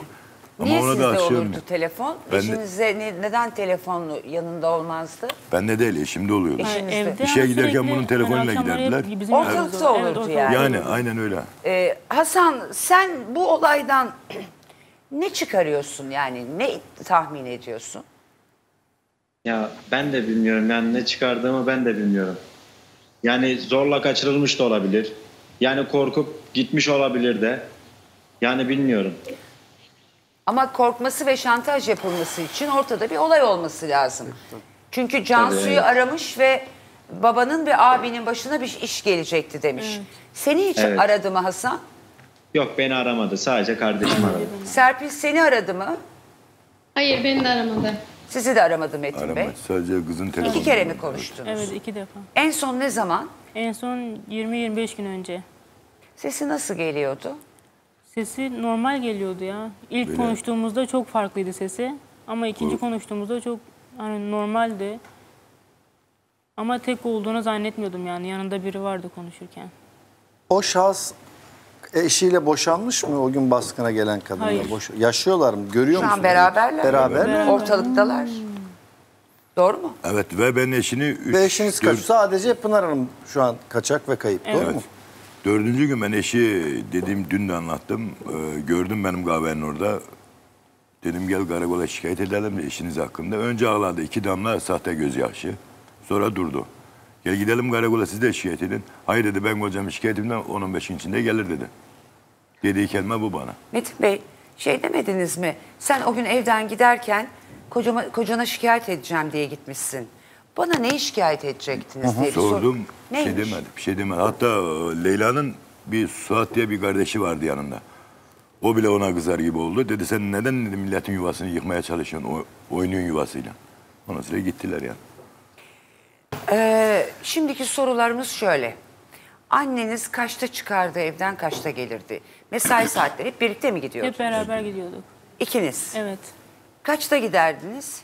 Yedi buçukta servise binerdik. Akşam dörtte, dörde on geçe evde olurduk. Direkt evde mi olurdunuz? Evet direkt evde. Anneniz dışarıda hiç vakit geçirir miydi? Hayır bensiz hiçbir yere gitmezdi. Veya Hiçbir yere. babamsız hiçbir yere. Tek başına Ee, hiçbir bir yere. özel hayatı yoktu yani. Hayır, Hayır. öyle bir şey gitmez. Arkadaşlarımla buluşayım. Var, arkadaşı var birbirinin Hep evine gidip gelirler yani. Bildiğiniz, tanıdığınız Evet. insanlar. Ee, ya da hafta sonu, cumartesi alışverişe diye çıkıyor mesela. Tek başına mı çıkardı? Hayır beraber giderdik. Her yere beraber Yani giderdik. yalnız bir yere gitmez. Yani Bakkala annenizin ya da eşinizin bu evlilik dışında kendine ayırdığı özel saatler, dikkatinizi çekecek e, kadar uzun süren geç gelmeler vesaireler herhangi bir şey Hayır, hayır. sıfır. Sıfır. Bir gece önceye gidelim şimdi. Şimdi bu olay e, ayın 21'inde oluyor. E, Haziran'ın. 20 Haziran e, Cumartesi akşamına dönelim. O gün ne yaptınız evde ailece? O gün e, yani bahçede mangal yaptık. eşim, ben, eşimin kız kardeşi falan vardı. Hep beraber yedik ve düğünü konuştuk. Oğlanın düğününü konuştuk. Akşamına da Beşiktaş maçı vardı. Onu izledik hep beraber. Gece bir buçukta uyuduk. Hatta ütü yaptı kendisi. Sabahta kalktı. Bu olayla karşılaştı. Kavga, dövüş, Hayır, hiçbir hayır, şey yok. tartışma. yok. Hayır. Hiçbir şey yok. Hayır. Düğün e, bu olaydan sonra mı oldu? Değil. Önce düğün daha konuştuk. Düğün yapamadık da. Şu anda bir arkadaş gibiler yani. Ha, anladım. Evet. Anladım. Nikahını koyduk ama düğün yapamadık. Anladım. Pandemi sebebiyle düğün yapamadınız Bir de ama eşim- düğün e, konuşmaları yaptınız. Evet. Peki, Sabah da e, aynısını konuştuk. Düğün meselesi. Hatta sabah annem babama dedi ki sen saat 10 gibi aç kahveyi. Hasan açsın dedi kahveyi. Sen Ben bekle kahvaltı yap, kahvaltı öyle git. yapalım dedi. Böyle dedi. Babam da yok dedi. Ben gideyim dedi. Ben açayım dedi. Saat 10 gibi gelirim dedi. Beraber Aynen. Evet. pazar kahvaltısı Evet, yapalım evet, dedi. pazar öyle yapardık. Bu pazar işte neden Şimdi o gün o eve giren adam daha öncesine gelen Leyla Hanım benim kocam nerede saklıyorsan çıkar diyen bu ikisinin karı koca olduğundan eminiz değil mi? O giren adam o yani Tezcan. Gelen de onun karısı Leyla. Şu anda aynı evde yaşamaya devam ediyorlar. Tezcan ortalıkta. Ortalıkta evet görüyorlar. Duyuyorum yani ortalıkta. Siz görmediniz. Ben, ben görmedim. Peki. Sabah bir telefon görüşmesi yaptı mı anneniz? Bunu merak ediyorum. Hayır. Evden çıkarken. E nasıl geldi o adam 52 dakika sonra orada o taksinin geleceğini nereden biliyordu kendiniz? Enteresan bir şeyler var Yani- ya meseleden. Çok esrarengiz Evet, bir durum var enteresan bir ortada. şeyler var. Sevgili seyirciler, bugün de süremizin sonuna geldik. Yarın yarım kalan hikayeler ve yeni haber ve gelişmelerle huzurlarınızda olacağız. 13.15'te Star ekranlarında buluşalım efendim. Kendinize çok iyi bakın. Sevdiklerinize çok iyi bakın. Sizi sevenlere çok iyi bakın. Sizi seviyorum. Allah'a ısmarladık.